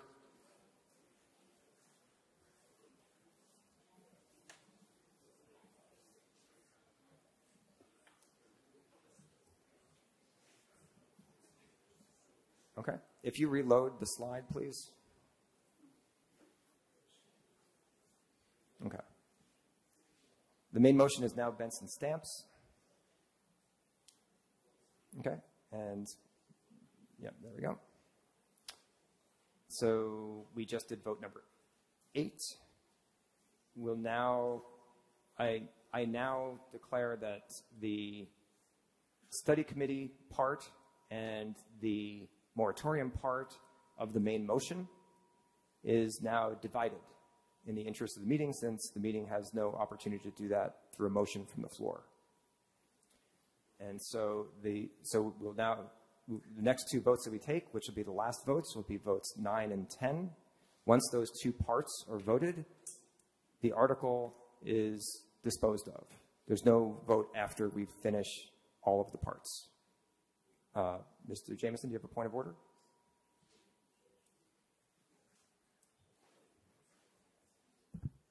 Thank you, Mr. Moderator. Gordon Jameson, Precinct 12. I thought you said because something couldn't be amended that it couldn't be div- divided. Did I mishear that? No, a substitute motion cannot be divided. Oh, now that it's the main motion, it It's the can. we don't have any substitute motions anymore. We just have a main motion with two parts that are independent. Okay, and, and, and now that we're going to vote on each part, and it's up or down on each part. That's right. And if we vote them down, do we then substitute a no action? I, I don't understand the question. So let's say you, we, we vote down the committee part of the main motion. Don't we have to then vote a no action? Why is that? Because we voted it down. We didn't have any, we didn't pass anything. We But have, to there's still the- pass, there's we still have to the- pass something. There's still the moratorium part. Well, if we, if we, no. Okay, and if we vote down the moratorium, don't we have to then have a vote of no action? No, because the parts are the parts are voted down at that point. Um, It's just like voting no on an article. historically, I think we've always ended up voting no action, but Yeah. No. No, We, we don't have a no action vote anymore. No action is in the past. Do we have another point of order somewhere? Ms. Bergman?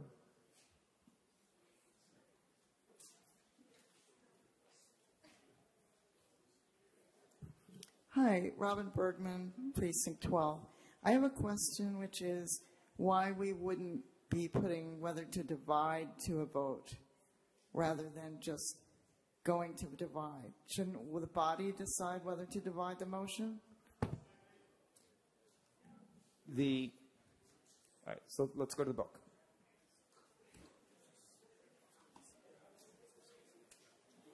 Division of the question is page 113.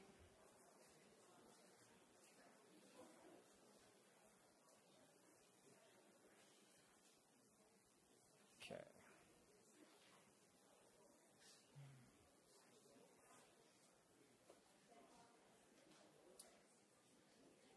Okay. Although Jefferson and Cushing, I don't know who they are, suggest that division of the question can only be done by a vote at the meeting, Bolton suggests that the moderator should divide the question without waiting for a motion if division will serve some constructive or valuable purpose. This is the better rule. So the book is recommending that the better rule um, is that the moderator should divide the question if the moderator feels that there's some constructive or valuable purpose, which I've already stated that there is, uh, because the meeting doesn't have an opportunity, there's no speaking queue right now to make a motion from the floor. Um, it does not state that the moderator should bring a vote of division to the meeting. It says that the moderator should divide the question, and that's what I that, that's what I'm intending to do. That's actually what I did. Mr. Moderator? Uh, do we have a point of order? Yes, Mr. Moderator, John Marr, Precinct Yes. 4. Yes, Mr. Mark. You've, uh, the, the, uh, you've just voted to substitute uh, the Benson Stamps um, substitute motion, but it becomes the main motion. You still have to vote the main motion, do you not? That's what we already voted uh, to substitute Benson stamps as the main motion. That is the main motion now. But yes, but you still have to vote the main motion. That's right. And I've I've already declared that it is uh, it is split into par- is divided into parts. But in the past, once it's substituted, it becomes the main motion. It is the main motion. But It's the you main still motion have in- to vote the main It's the motion. main motion in two parts. Mr. Weinstein, you have a point of order?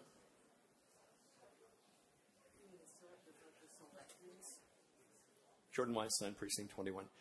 You stated that the, uh, the body doesn't have a, an opportunity to divide the, um, what's now the main motion. But the body had an opportunity as soon as the Benson uh, stamps motion was submitted to submit a motion to divide.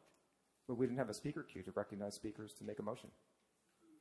I'm saying that in the in the there was a chance to submit a motion to divide, which But we didn't have a main motion until about like, a few minutes ago that was divisible. Okay. Yeah. Yep. That, that, that's, that's the crux of the problem. That it was only late in voting that we would know for sure whether we have a, a main motion that's divisible. Mr. Loretti, point of order? I divided it to save the meeting time, but it seems to not be working. Thank you, Mr. Moderator. Chris Loretti, Precinct 7. I don't understand the words if divided next to 10. If you have divided this motion into two parts, aren't they both um, voted independently and either one of them or both could be adopted irrespective of what, of what happens with the other one? Right. Can, can we reload the slide?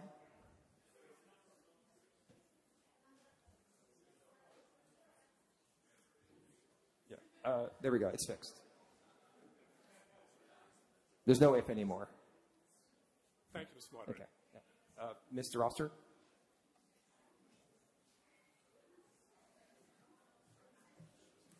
Adam Oster, Precinct 20. My point of order is that at this point, I think all this discussion is out of order. I think we, we've had the education. We know what we're voting on. If it's a little tricky, we'll see when we vote on it the way that you described. And I think we should just vote. Okay. I declare that the, uh, I, I think we're clear here. I, I, because of the complexity of this, I want to be extra careful. I know it's very time consuming. Be extra careful that everyone knows what we're voting on and why. I'll take one more point of order, and then we're going to move on with voting on the first part. Uh, uh, Mr. Warden actually had his hand up as well. So two. Okay. Yep. Can I go? sir? Go ahead. Very simply, Steve Moore, Precinct 18. This is a two-thirds vote. No, it's a majority vote. Yep. The part, each part is a majority vote. Mr. Warden? Uh, uh, Thank you, Mr. Moderator. John Warden, Precinct 8. Um, I, um, I, don't know about this business, business of dividing it, but whenever we get to it, uh, divided or otherwise, uh, the custom in our, in our meeting has always been, as far as I recall, uh, that once that's done, then we have to vote on the motion as substituted, taking another, another vote on the whole thing. Okay. It's kind of a, it's kind of a formality, but it's, my recollection is that's what we've always done. You could ask Mr. So- Leone to confirm that. Right. Thank so, you. so Mr. Warden has standing here as a former occupant of this chair. And so let me just find the citation. This is still under section 49 of town meeting time, division of the question. Okay. This will just take a second.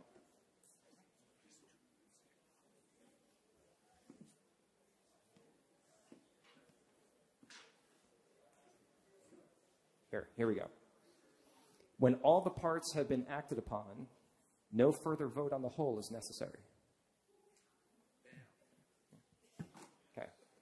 Okay, so we're now going to move on to a vote on the first part of the divided question, which is the study committee. And so this is the study committee from what was the Benson Stamp substitute motion, which is now the main motion. So if we want to bring that up, well, actually, we just covered this, but the, this is the study commission, uh, the study committee part of what was the Benson Stamps substitute motion. That is what we're voting on next. If you're in favor of the study committee, you would vote yes. If you're voting against the study committee, vote no. Uh, can we see? Can we just show that briefly one last time? Yeah, point of order. Can you show that? Yeah, we'll we'll show that right now. Thank you. Um, I think that is Benson stamps. Yes. So the study committee part is what we're voting on here. And yeah, all of this until we see the heading of moratorium.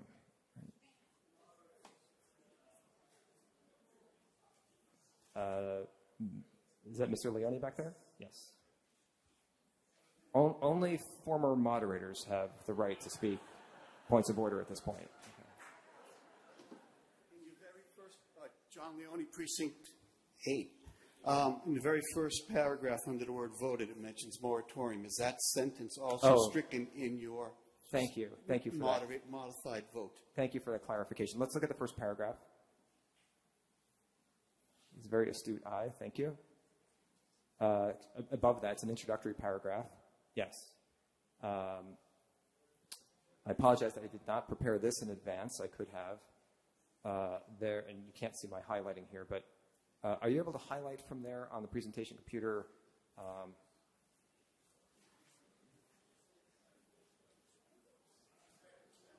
let's see.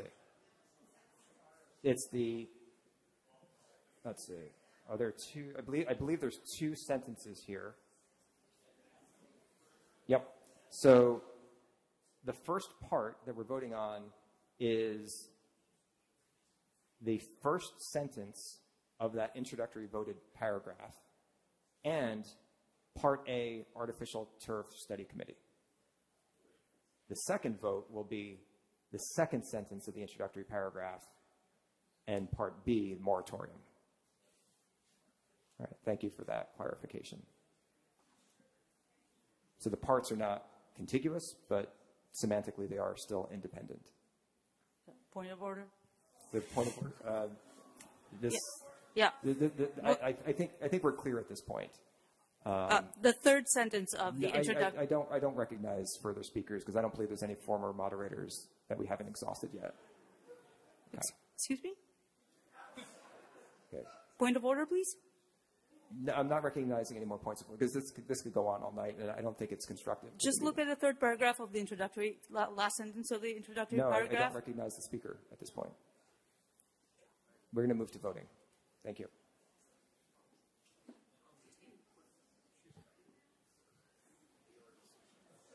We're going to bring up a vote on the first part, which is the study committee part, which is the first sentence of the introductory paragraph, and then part A, artificial turf study committee.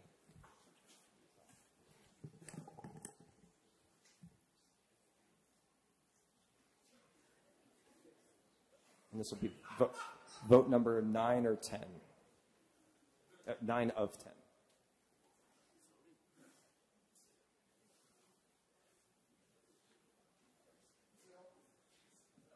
Hmm. No, I think is the green light on? I don't. I can't see. Okay, then, then no. Uh, they might be working on dividing the slides. Is that right? Five seconds.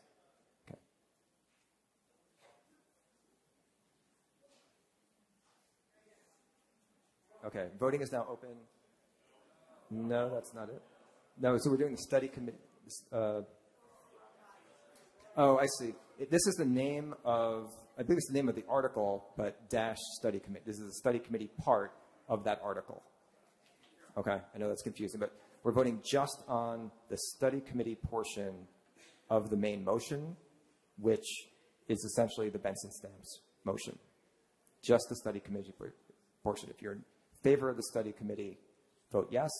If you're opposed to the study committee, vote no.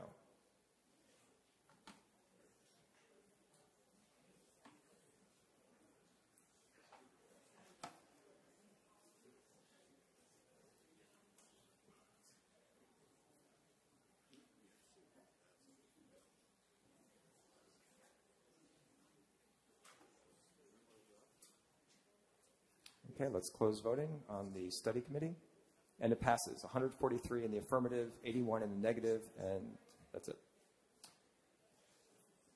Now we're going to take a vote on the moratorium part, and this will be the final, the 10th and final vote of motions under Article 12. There's no, there's no final vote. It's, this is it. Once we vote all the parts, it's disposed of. So we'll now bring up, uh, so if you're in favor of the moratorium that was defined in the Benson Stamps motion, then you would vote yes. Um, this is the text. Okay, so uh, yes. So this is the moratorium portion of Article 12.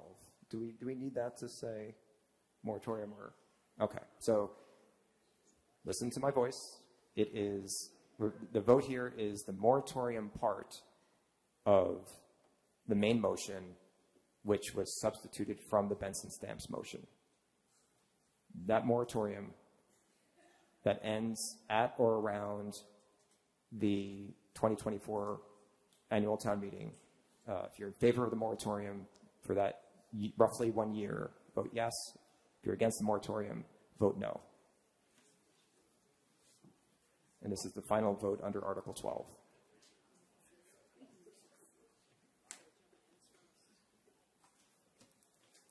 Okay, let's close voting.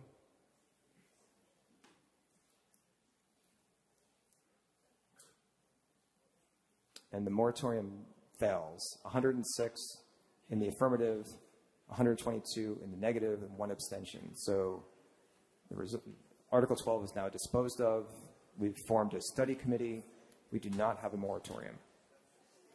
Okay. We're overdue for a break, so let's now take a 10 minute break. And I'll see you back here at 10.07.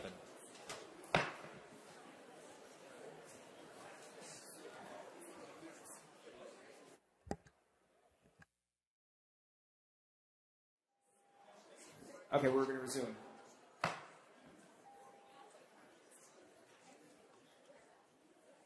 We will now take up Article 30, now, resuming Article 30. Ms. Deshler?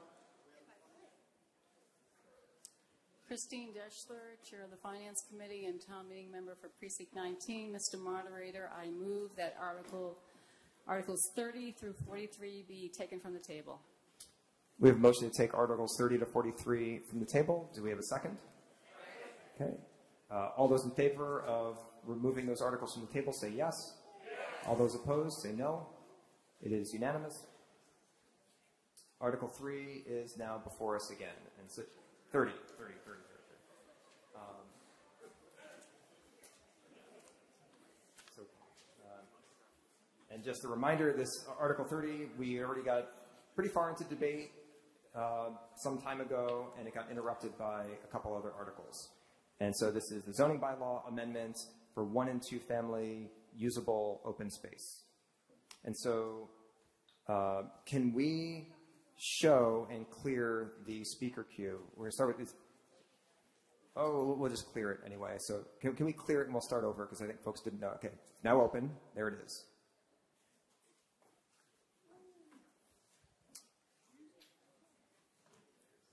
Okay. And so we're going to pick up where we left off. Everyone remembers exactly what we've already discussed.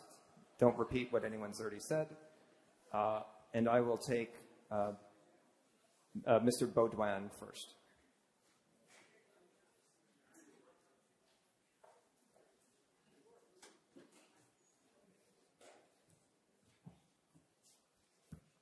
Thank you, Mr. Moderator. Vincent Baudouin, Precinct 1. Uh, I want to thank my friend Mr. Fleming for the work that he has done on this article. Uh, we had an opportunity last week to hear arguments, and I don't wish to repeat them. Uh, since a week has passed, I, I, just want to touch on a few points. First of all, usable open space is a requirement that a rectangle of space be left on a, open on a property, typically 25 feet on a side, uh, but that can be larger or smaller in some circumstances. There were some concerns about people paving their lots for parking. Mr. Ciampa, the Director of Inspectional Services, addressed this in the debate and in a subsequent memo posted to the annotated warrant. My reading of his clarification is that property owners can only create paved exterior parking if it is in a driveway, and in that case, it is limited to 20 feet wide. There was an additional concern about this change impacting commercial properties. This was addressed in uh, another memo posted to the annotated warrant by Ms. Ricker, the Director of uh, Planning and Community Development. Um, and again, just my interpretation, please correct me if I'm wrong, is that there are other safeguards in place to protect businesses. It seemed unlikely that businesses would be replaced by single or two family houses because we removed this requirement. Uh, in addition, the memo pointed out ways that this change aligns with the goals of our master plan. Uh, finally, just a point about zoning broadly. When we make rules about what people can do with their property, we are balancing our desire to protect the community's interests against the freedom we're taking from people to choose what is best, the best use of their property. Um, so there are many very legitimate zoning rules that protect neighbors, including setbacks, lot coverage requirements, and landscaped open space requirements. Um, in, in my view, the balance here should swing towards letting property owners do decide whether or not a 25 foot by 25 foot square is the best way to use the space on, on their property. I hope you will join me in voting in favor of Article 30. Thank you. Great, thank you. We'll take uh, Mr. Uh, Mr. Lordy, do you have a point of order?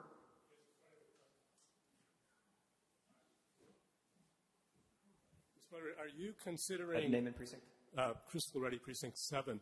I believe the rule in town meeting is if you're speaking for the second time, it's five minutes rather than seven. Are you considering that a number of these people on the list spoke last week? Uh, the town bylaws state, I don't know if Mr. Heim is here to confirm, but the town bylaws state that these rules apply per subject.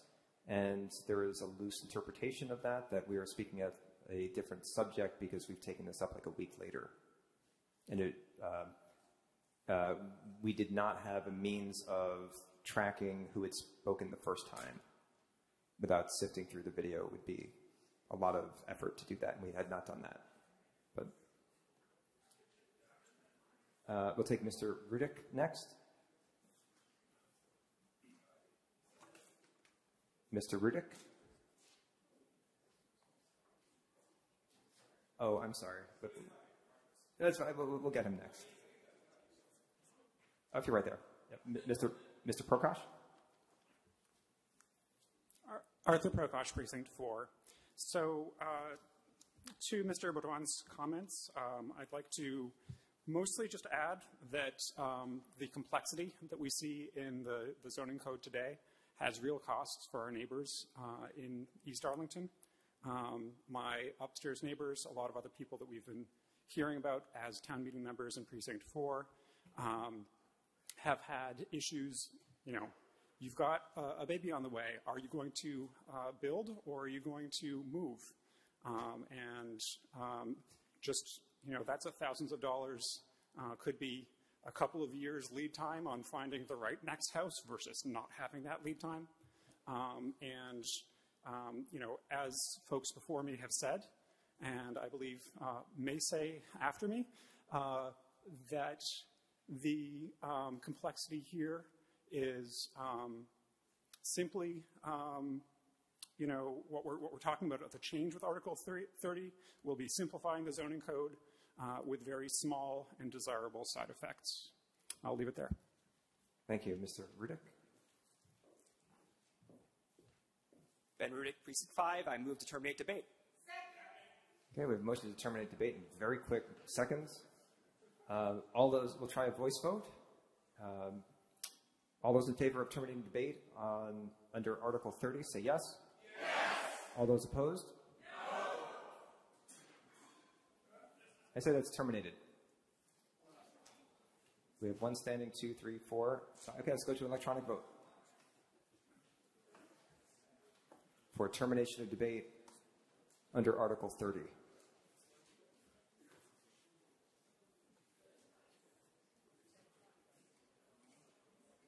And we can, we can take the vote without clearing the queue, correct? Yep. Okay, if you wish to terminate debate, vote one. If you wish to continue debate, press two. I will not be accepting any amendments.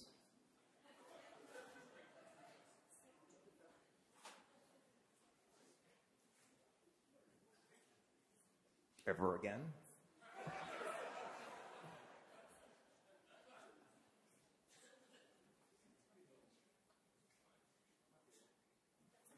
Okay, let's close voting. It passes. Uh, debate is terminated. 150 in the affirmative, 59 in the negative, three abstentions. So let's then move to a vote on the main motion. Can we do that? Go straight to it. Okay. Uh, before, before we open that voting, though, let me just summarize. Uh, is it about summarizing the vote or is it something else? Okay. Yep. Thank you, Mr. Moderator. Carl Wagner, Precinct 15. Is this a two-thirds vote because it is a zoning vote? I'm going to get that into that in the summary. Thank you. Thank Uh, this is a two-thirds vote. Vote yes if you want. If you wish to remove the usable open space requirement for one and two family uses from the zoning bylaw, is a two-thirds vote. So let's now open voting on the main motion.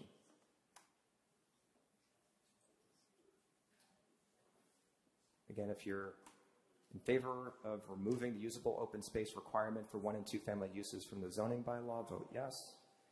If you want to leave the zoning bylaw, I don't want to say unamended, but not changed, then vote two for no.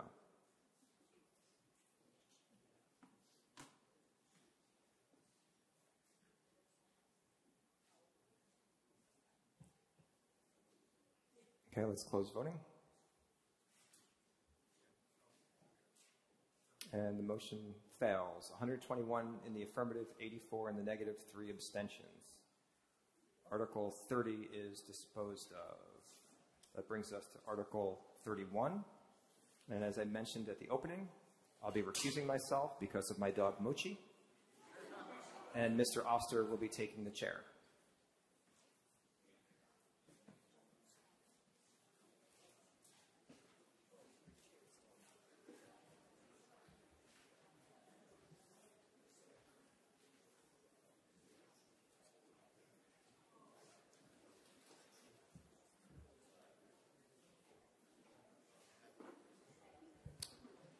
Article 31 is before us. Uh, Ms. Zsembery, who is going to present the report of the board? Please go ahead. Thank you. Rachel Zsembery, Chair of the Redevelopment Board. Article 31 is a proposed zoning bylaw amendment related to animal daycare uses in the industrial district inserted by Kristen Anderson. The board is supportive of adding animal daycare as a use and noted its particular suitability in the industrial district.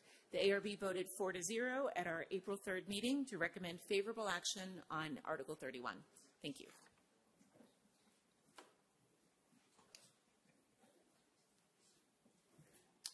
I'd like to recognize Kristen Anderson, the original proponent.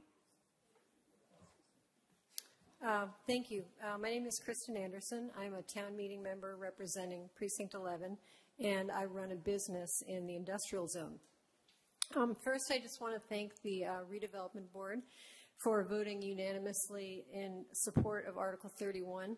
Their support of this use change is greatly appreciated. During the lockdown period of the COVID 19 pandemic, many Arlington residents were forced to stay home. To remedy intense loneliness, many of our neighbors decided to welcome new pets into their homes. Now that pandemic restrictions have been lifted, people are going back into the office, leaving their pets at home. Many of these animals are very unhappy and suffer greatly from being home alone, particularly dogs. To the best of my knowledge, there exists in town only one animal daycare business, Go Play in Brattle Square. Go Play can offer this service because they are in the business zone and animal daycare is an allowed use in the business zone. However, Go Play has a small space with limited capacity and a very long wait list for new dogs. Arlington is in need of animal daycare. Robin from Robin's Nest Dog Grooming wanted to expand her business a few years back to offer doggy daycare. It would have required moving into a larger space, and she found one in the industrial zone. But because the use was not allowed, she was not able to grow her business. Virginia from Potopia, another woman owned local business, has already moved her business to Lexington, where there are more abundant commercial space offerings. Daria Panesi of Stratton Pup has been looking at spaces in Acton because she was not allowed to move into a space in the industrial zone on Dudley Street. In a letter to town meeting members, Daria Panesi states, quote, Arlington has become such a vibrant and diverse community over the years. I have seen the transformation firsthand, and I love being a part of its fabric. So, why is it that a small local business with a proven track record, trained staff, and eager clientele is being pushed out from the community we service and live in? Daria has grown Stratton Pup over the years. She now employs nearly 20 people and provides animal care services to over 300 area pooches. Daria would like to stay in Arlington, but this particular use restriction is pushing her out of town. This use restriction has had a negative impact on these women's ability to grow their businesses. The lack of, av- of available space, excuse me, the lack of available space is forcing businesses out of Arlington. And worse, it is negatively impacting the residents of Arlington by denying them local services that they want. For doggy daycare, Arlington's pooches are mostly sent to Crate Escape in Belmont, or they are sent to Burlington, Lexington, or Woburn. Arlington's residents should not have to travel outside of town to access animal daycare services. Local businesses provide services, products, and jobs to the community, which makes Arlington a more vibrant town. Local businesses help to make Arlington a town worth living in. Arlington needs to better support our businesses through zoning. We cannot grow our commercial base in town and realize any level of economic development without space for businesses. We have to do more to protect our existing and future businesses, and one small way that you can do that tonight is by voting yes for Article 31. Thank you. Chair recognizes Mr. Rosenthal.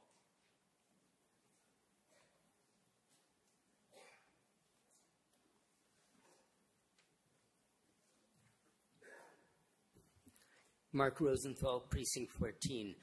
Um, first, let me say that I, my inclination is to support this article. However, uh, Mr. What, Assistant Moderator, is that the correct term? Um, I do find myself wondering where did this restriction come from in the first place? Why do we even have it? For all I know, it may be something archaic that maybe there's a legitimate reason, or it may be something from the 1800s that is completely irrelevant in the 21st century. Is there anybody here uh, who might have an answer to that? Uh, is there anyone from the uh, uh, redevelopment board or planning staff who can speak to that?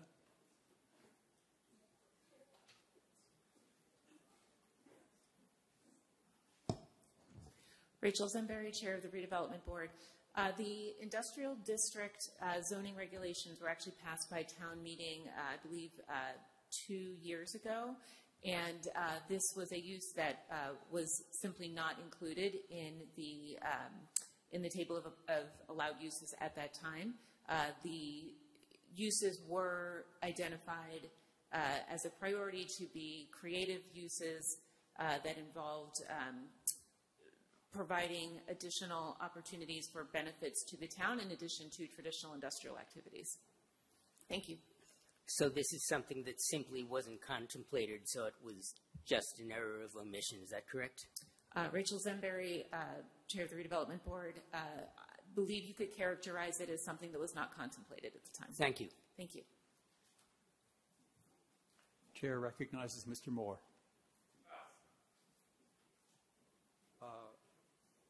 Ms. Ham.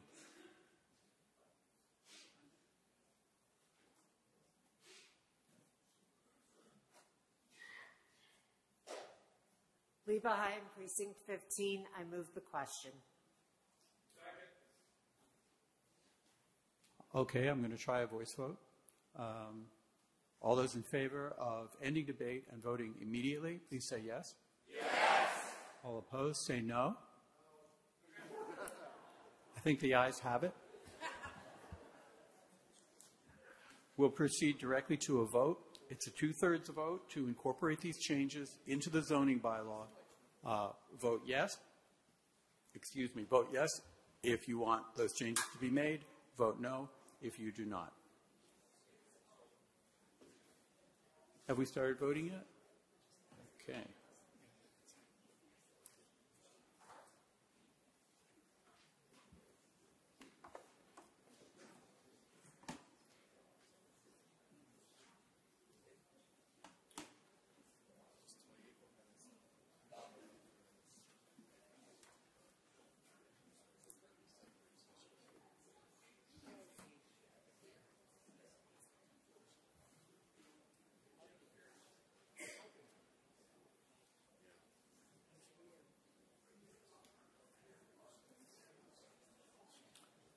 Close voting, please.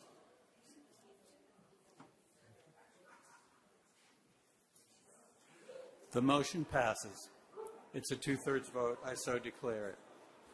Mr. Moderator, your chair is ready.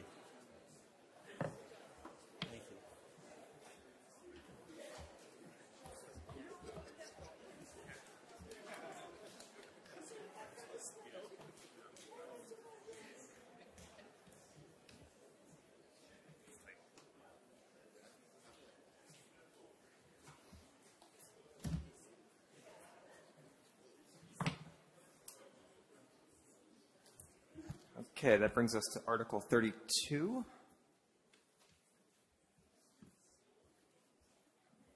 Okay, and this this was initially on the consent agenda. Uh, this was held by Ms. Mazina, and so first we'll introduce this article. Um, Ms. Zsembery, did you want to introduce the uh, the the vote from the redevelopment board, please? Thank you, Mr. Moderator. Rachel Zsembery, Chair of the Redevelopment Board. Article 32 is a proposed zoning bylaw amendment related to building affordable housing anywhere, inserted by Tom Perkins. After meeting with the ARB, the petitioner requested to withdraw the proposal. The ARB voted 4 to 0 at our April 3rd meeting to recommend no action on Article 32. Thank you. Great, thank you. Um, Ms. Mazina, you you held this from the consent agenda. Did, did you Pass. pass? Okay, so we have uh, a recommended vote of no action. Uh, we have no substitute motion, and so we have nothing to debate. There's no scope for debate, so we'll move straight to a vote on the main motion of no action. Let's do a voice vote. All those in favor of, of no action on article, under thir- art- Article 32 say yes. Yes. All those opposed? It is unanimous. We will do nothing. That takes us to Article uh, let's see, 33. Uh, now, this is a Finance Committee article. Uh, Ms. Deshler, do you want to introduce the Finance Committee's vote on this article? Thank you, Mr. Moderator. Christine Deshler, Chair of the Finance Committee. Uh, Article 33, along with um, most of the following 20 or so articles, are articles that have been inserted in the warrant at the request of the Finance Committee. Most of these articles are articles that come up every year. Um, Article 33 relates to the um, Parking Benefit District, which was created by town meeting in 2017 with the idea of uh, uh, parking meter money that's collected uh, be dedicated for improvements in that very area that generated the money. Um, through Article 33, uh, town meeting is being asked to endorse um, the the expenditures from the anticipated revenue, um, which is $416,924, um, endorse the um, expenses from that um, that are listed in Article 33, and that includes administrative costs, um, cost of the parking enforcement in that district, parking meter operations themselves, and then the leftover for the um, center and plaza improvements, and the Finance Committee recommends a positive vote on Article 33. Thank you. And can we show the speaker queue? Uh, Folks might not have known that. So we have three speakers here. Uh, uh, Mr. Uh, Mr. Pooler, do you want to tell us something about this article? Th- th- This, just so folks know, this article was uh, inserted into the warrant, but at the request of the town manager. So I'll give Mr. Pooler an opportunity to say a few words. Sandy Pooler, Town Manager. I'm just going to make this comment because I was told by one of your members that if I didn't, uh, he would ask a question. So let's see if I can preempt that. Uh, I just wanted to speak to the uh, progress in replacing the meters in town. Uh, as many of you know, we are now not currently enforcing uh, parking uh, at meters other than for time limits because the meters don't work anymore. Uh, we have anticipated that we would have them repaired in five days. I think that's probably not true. Uh, we just heard today that they're uh, going to be shipped, so I think by the end of the month they should be up and running again. Uh, notwithstanding that, um, we will have sufficient income this year and more than sufficient income in the coming year to meet the needs of the parking benefit district. Thank you, Mr. Pooler. We'll take Ms. Friedman first. That was the question. Okay. Mr. Moore? Pass. Mr. Jalkut? Okay, we have no more speakers. So let's proceed to a vote on the main motion. Just FYI, this was on the consent agenda. It was held. Um, so uh, let me summarize before we go into the voting. This is a majority vote. Vote, and you'll vote yes if you want to endorse the expenditure of $416,924 in projected revenue from the parking fund for the four items detailed on page six of the Finance Committee's report. If you're in favor of endorsing that expenditure, you'd vote yes. And if you're against endorsing that expenditure, you'd vote no. One for yes, two for no. Voting is now open.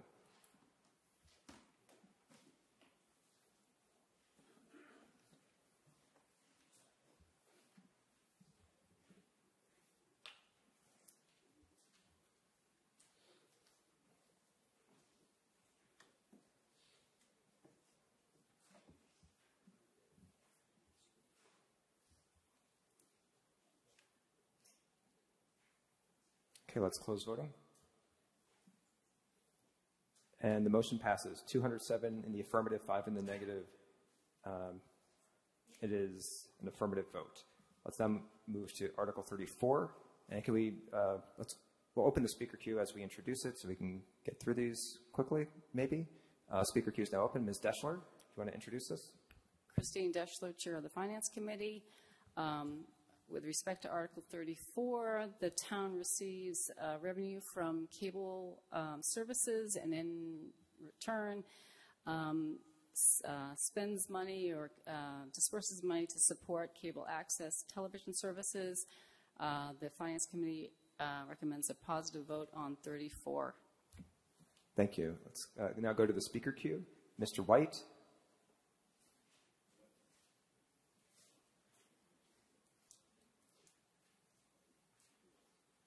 Is Mr. White, uh, is Ms. White in the balcony? I don't see Mr. White. Uh, Mr. Leone?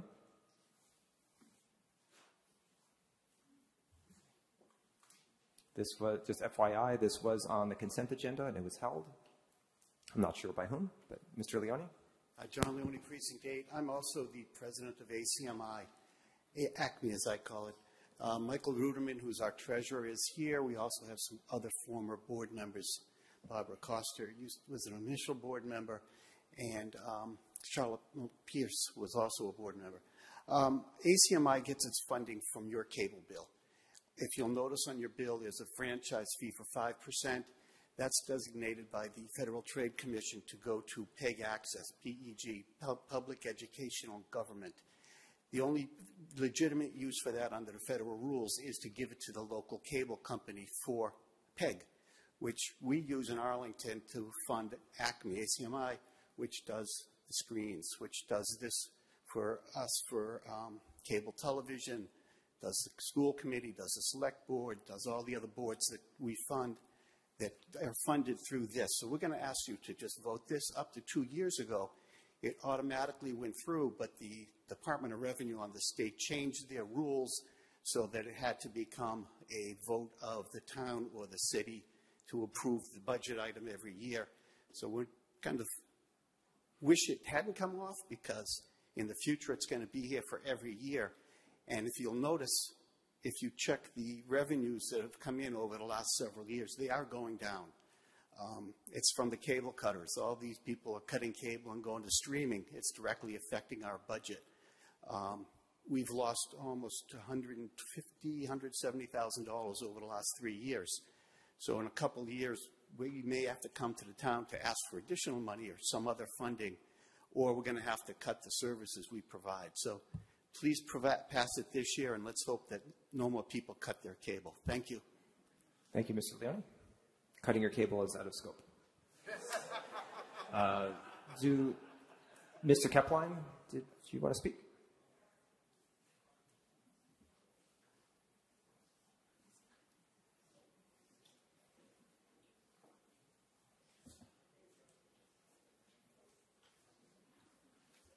Mark Kepline, Precinct 9. I'm sorry I didn't have my finance report with me tonight. Um, I'm wondering if uh, someone could tell us how much money this is, uh, how much goes to salaries, how much goes to programs, um, and then uh, some information about the um, the classes that are available to residents and students within Arlington schools.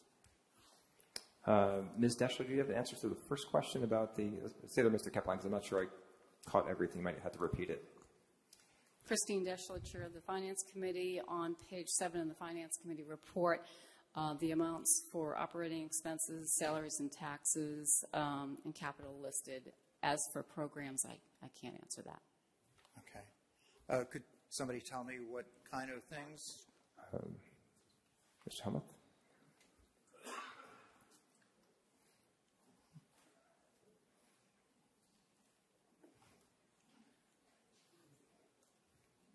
Okay, could somebody um, maybe list out some of the services ACMI brings to the town and the value they provide, especially with, with courses for student for residents and Mr. Leone, do you have an answer to that?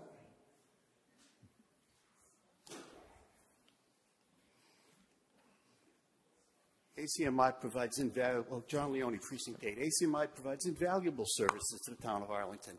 We provide the select board meetings for your watching benefit at home. We provide this for your watching benefit at home. We provide at the high school, we have a little sub studio that we use to train the um, students who wish to learn about audio visual in the latest technologies for cable casting, for broadcasting. We also provide training for interns from some of the various colleges in the area. Our studio and our training is highly sought after among colleges, and those colleges send children to Arlington. We also provide training for the high school kids and the middle school children in the latest um, television cameras, latest technology, latest editing. Right back here, um, right opposite the men's room, we have a studio. It's a satellite studio that directs, connects up to our studio up the heights at the old Dallin Library. And we also have another sub studio in the Food Link building on um, Summer Street that provides um, additional training for the high school children. And also from that studio, we can transport equipment down to the football field, the basketball field, soccer, and to, tra- to uh, cable cast those games for the parents who can't make it down to these um, to the, to the event. Um, and we do other things as well. We have to be careful on when we try, we can't really broadcast all of like the student plays that they have every year because of copyright laws. So we, we have to, Norm does a good job of, Norm, Norm McLeod, our executive director, who's been there since 2006. He does a good job of keeping us straight. Okay, and the news broadcasts, and you have educational programs for adults too, right? Yes, we do. Um, anybody can come down and become a member. I believe the membership fee is forty dollars. 50, 50 bucks. last Fifty time, yeah. dollars? Okay, it's fifty bucks. Um, and if you can't afford it, we make an accommodation for you. So we'll train anybody on how to use the equipment, meaning the cameras. The um, we have drones; they can use the drones. We'll train them how to use it, uh, and then the editing stud- and editing suites. We'll train you how to use the suites, so you can do a program. So you- whatever you want to do, you can do it. If it's a prurient interest, we're going to show it at 2 o'clock at night so we don't offend anybody, but we have to show it. Um, the FCC makes us show everything that anybody comes up with. Thank you very much. Okay, thank you. Thank you. Thank you. And we'll take Mr. Moore next. Is it invaluable or is it valued at $820,000 and 40 $477? It's a, it, I'm just kidding. Mr. Moore? Thank you, Mr. Moderator. Christopher Moore, Precinct 14. Uh, motion to terminate debate. Okay, we have a motion to terminate debate. We have a second. Uh, all those in favor of terminating debate under Article 34 say yes. yes. All those opposed? The yeses have it. T- debate is terminated. Let's go to a vote on the main motion under Article 34, which is before, actually, before we switch over, let me summarize. Uh, a majority vote, you vote yes if you wish to endorse the expenditure of $820,000, uh, $820,477 in projected cable revenue detailed on page 7 of the Finance Committee's report. If you're in favor of endorsing that expenditure, you vote yes. If you're against it, vote no. Um, let's open voting now on the main motion of Article 34. I think the green light's on, but we don't have a vote screen yet. Oh, there we go. Voting is open.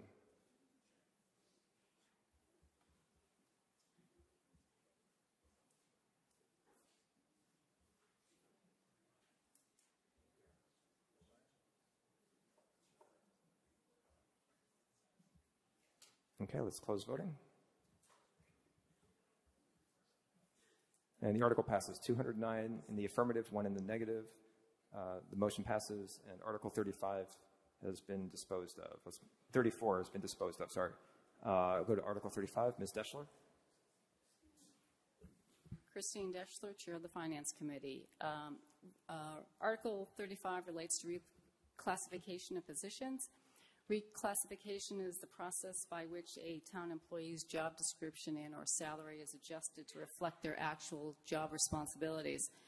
The process begins with the employee and the department head um, filing an application for reclassification to the director of HR, who examines the job description, compares it with similar descriptions in 12 nearby towns, and decides whether the um, uh, job should be reclassified. If reclassification is denied, the employee is entitled to appeal to a three-person appeals board.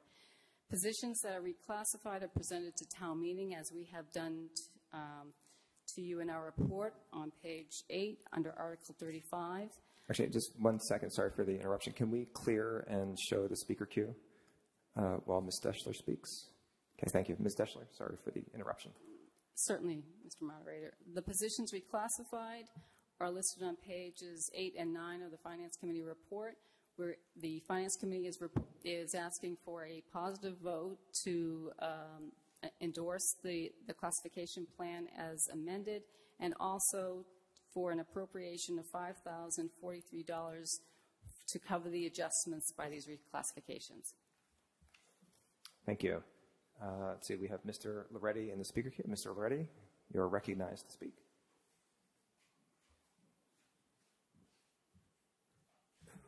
Thanks, Mr. Moderator. Chris Loreti, Precinct 7. I was I'm just wondering if someone could explain um, what some of these abbreviations mean, like NTP versus OA, and and if there's not and there isn't much change in the appropriation, what's the, the purpose of the reclassification? Uh, Mr. Pooler, can you answer that?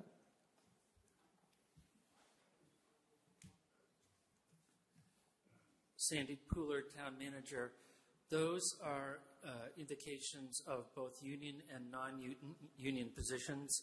Uh, so uh, the uh, O's are part of the AFSCME. MTP is a non-union position. Uh, I'm trying to see what the other ones are, but those are all uh, just designations of uh, where people fit in the unions or in the non-union positions. Thank you. Um, just one other question, if I may, Mr. Moderator. Yeah. Does the higher number um, after the grade indicate that it has a, it tops out at a higher salary? Is that what that is for? Sandy Pooler, Town Manager. Each of those um, classifications has a range of steps that they go through. Each step, uh, you go up one a year. Um, and so if you go from grade six to grade seven, you will be, uh, grade seven is paid more than grade six, and then you would go up uh, the step system. Most of these jobs have eight steps. Thank you. Thank you. Mr. Newton? Okay, we have no more speakers. So let's proceed to a vote on the main motion. And before we bring that up, I'll summarize that this is a majority vote, and you can vote yes. Voting yes will, will amend the classification plan and the town bylaws by reclassifying 12 positions, appropriating $5,043 corresponding to those reclassifications, adding 10 positions, and deleting five positions. You can read the details in the vote language. Uh, so let's now open voting on the main motion under Article 35. Okay, voting is now open, I believe.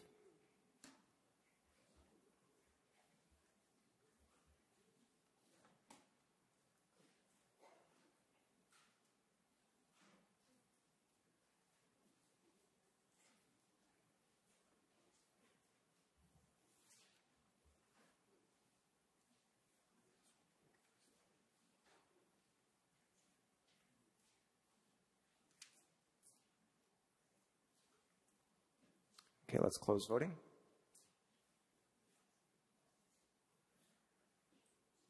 The motion passes 208 in the affirmative, one in the negative. Article 35 is disposed of. It takes us to Article 36. Ms. Deshler? Christine Deshler, Chair of the Arlington Finance Committee. Article 36 asks town meeting to appropriate $570,357 into a salary reserve fund to be set aside for future collective bargaining agreements.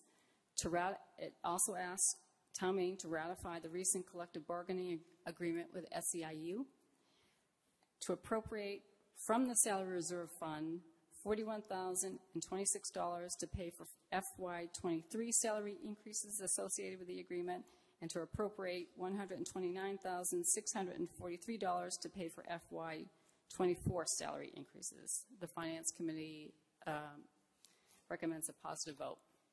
Great, thank you. Can we clear and show the speaker queue? Okay.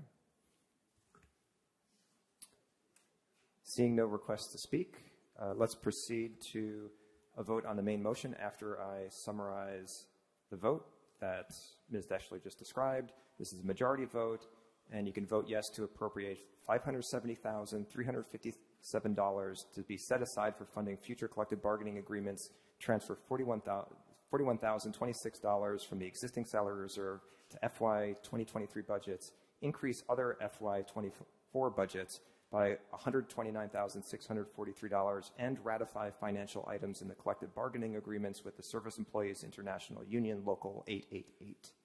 Um, so let's open a vote now. If you're in favor of all those things, vote yes. One for yes, two for no.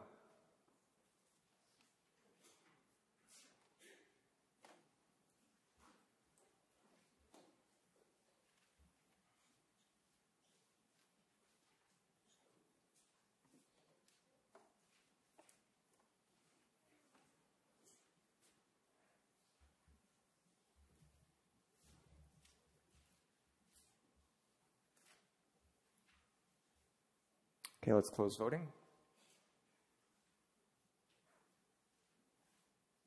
And the motion passes 206 in the affirmative, 5 in the negative. Article 36 is disposed of. That takes us to Article 39, which is a no action article. Ms. Deshler? I think this will be quick. Christine Deshler, Chair of the Finance Committee. Since no appropriations are transferred, transfers are required at this time, uh, the Finance Committee had a no action vote on Article 39. Great. And thank you. And I, I have, uh, do you have a point of order or? Okay, point of order? Uh, b- behind Mr. Loreti? Who's it?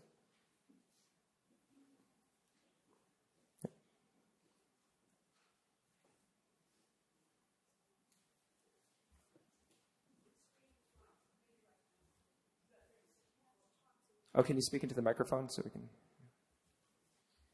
Nancy Bloom, Precinct 18. Uh, the screen has 36 before I, it, but I think it's right now. Okay, thank you. So yes, is Article 39. And so I, we don't have a substitute motion. We have a recommended vote of no action. Mr. Loreti, do you have a point of order?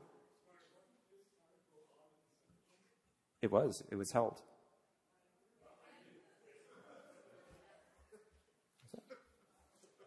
Least according to my records, right? Correct? Yeah. So um, let's take no further time disposing of this no action article, please. Um, all those in favor of no action, which is the main motion under Article 39, uh, say yes.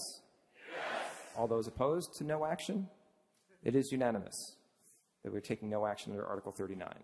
Uh, that brings us to Article 40. Ms. Deshler? Christine Deshler, Chair of the Finance Committee. Um, in a previous town meeting, you were asked to authorize borrow- borrowing for water meter installations. That project is now completed, and there is $30 $300,000 in unissued debt that is no longer required. The Finance Committee recommends a positive vote on Article 40 to res- rescind this prior borrowing authorization and get it off our books. Okay, thank. Uh, second to what? Um, uh, let's take Ms. Carlton Geeson first. Pass. Uh, Ms. Mandel? Pass. Uh, Mrs. Mara? Pass. Mr. Newton? Pass. Mr. Loreti?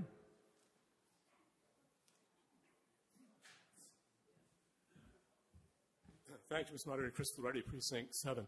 Um, I do have a question about the water meter uh, installation program. Um, I hope you'll deem appropriate. If this um, installation program has been deemed complete, there was a plan to make all of the data available for these new meters available to town residents. Will that still happen, or will the recension of this budget means, mean that is no longer going to happen? Mr. Pooler, can you answer that? Whether the rescinding of this authority affects those terms. Sandy Pooler, Town Manager, the rescission of uh, this prior authorized debt does not affect uh, the program that we will implement once uh, we've completed all of the meter ter- changeouts of allowing you to see your use in real time. Thank you, Mr. Moderator. Thank you. Seeing no more speakers, we will go to a vote on the main motion, which I'll briefly summarize. This is a majority vote and vote yes to rescind the authority to borrow $300,000 of unissued debt previously authorized at the 2014 town meeting. Um, and yeah, so let's open voting. Voting is now open. And this is a majority vote.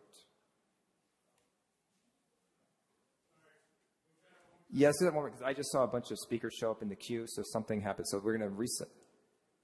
Oh, and it says 41. It should be 40. This is the wrong title. Yep. It should be 40 rescind borrowing authorizations from prior years.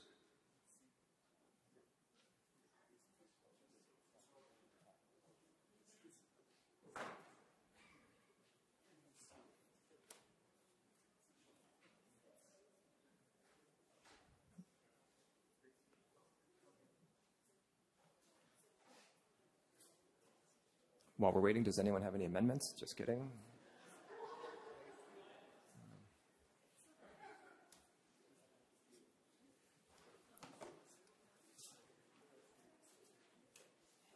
Okay, looks like we're good to go, right? Okay. Voting is now open on Article 40.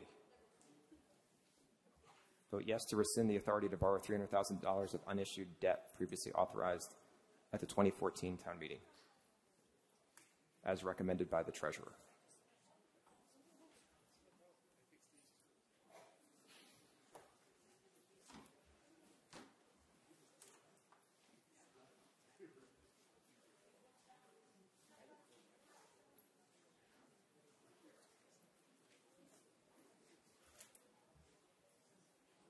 Okay, let's close voting. And the motion passes 202 in the affirmative, one in the negative. Do we have any motions to adjourn at this point? Oh, before we do that, yes, thank you. Before we do that, uh, do we have any notices of reconsideration? Ms. Deshler?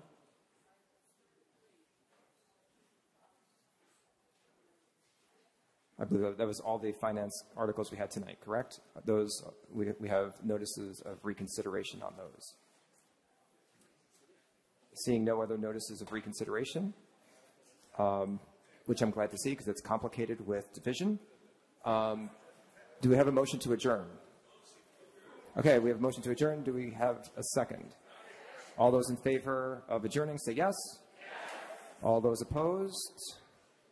We're adjourned.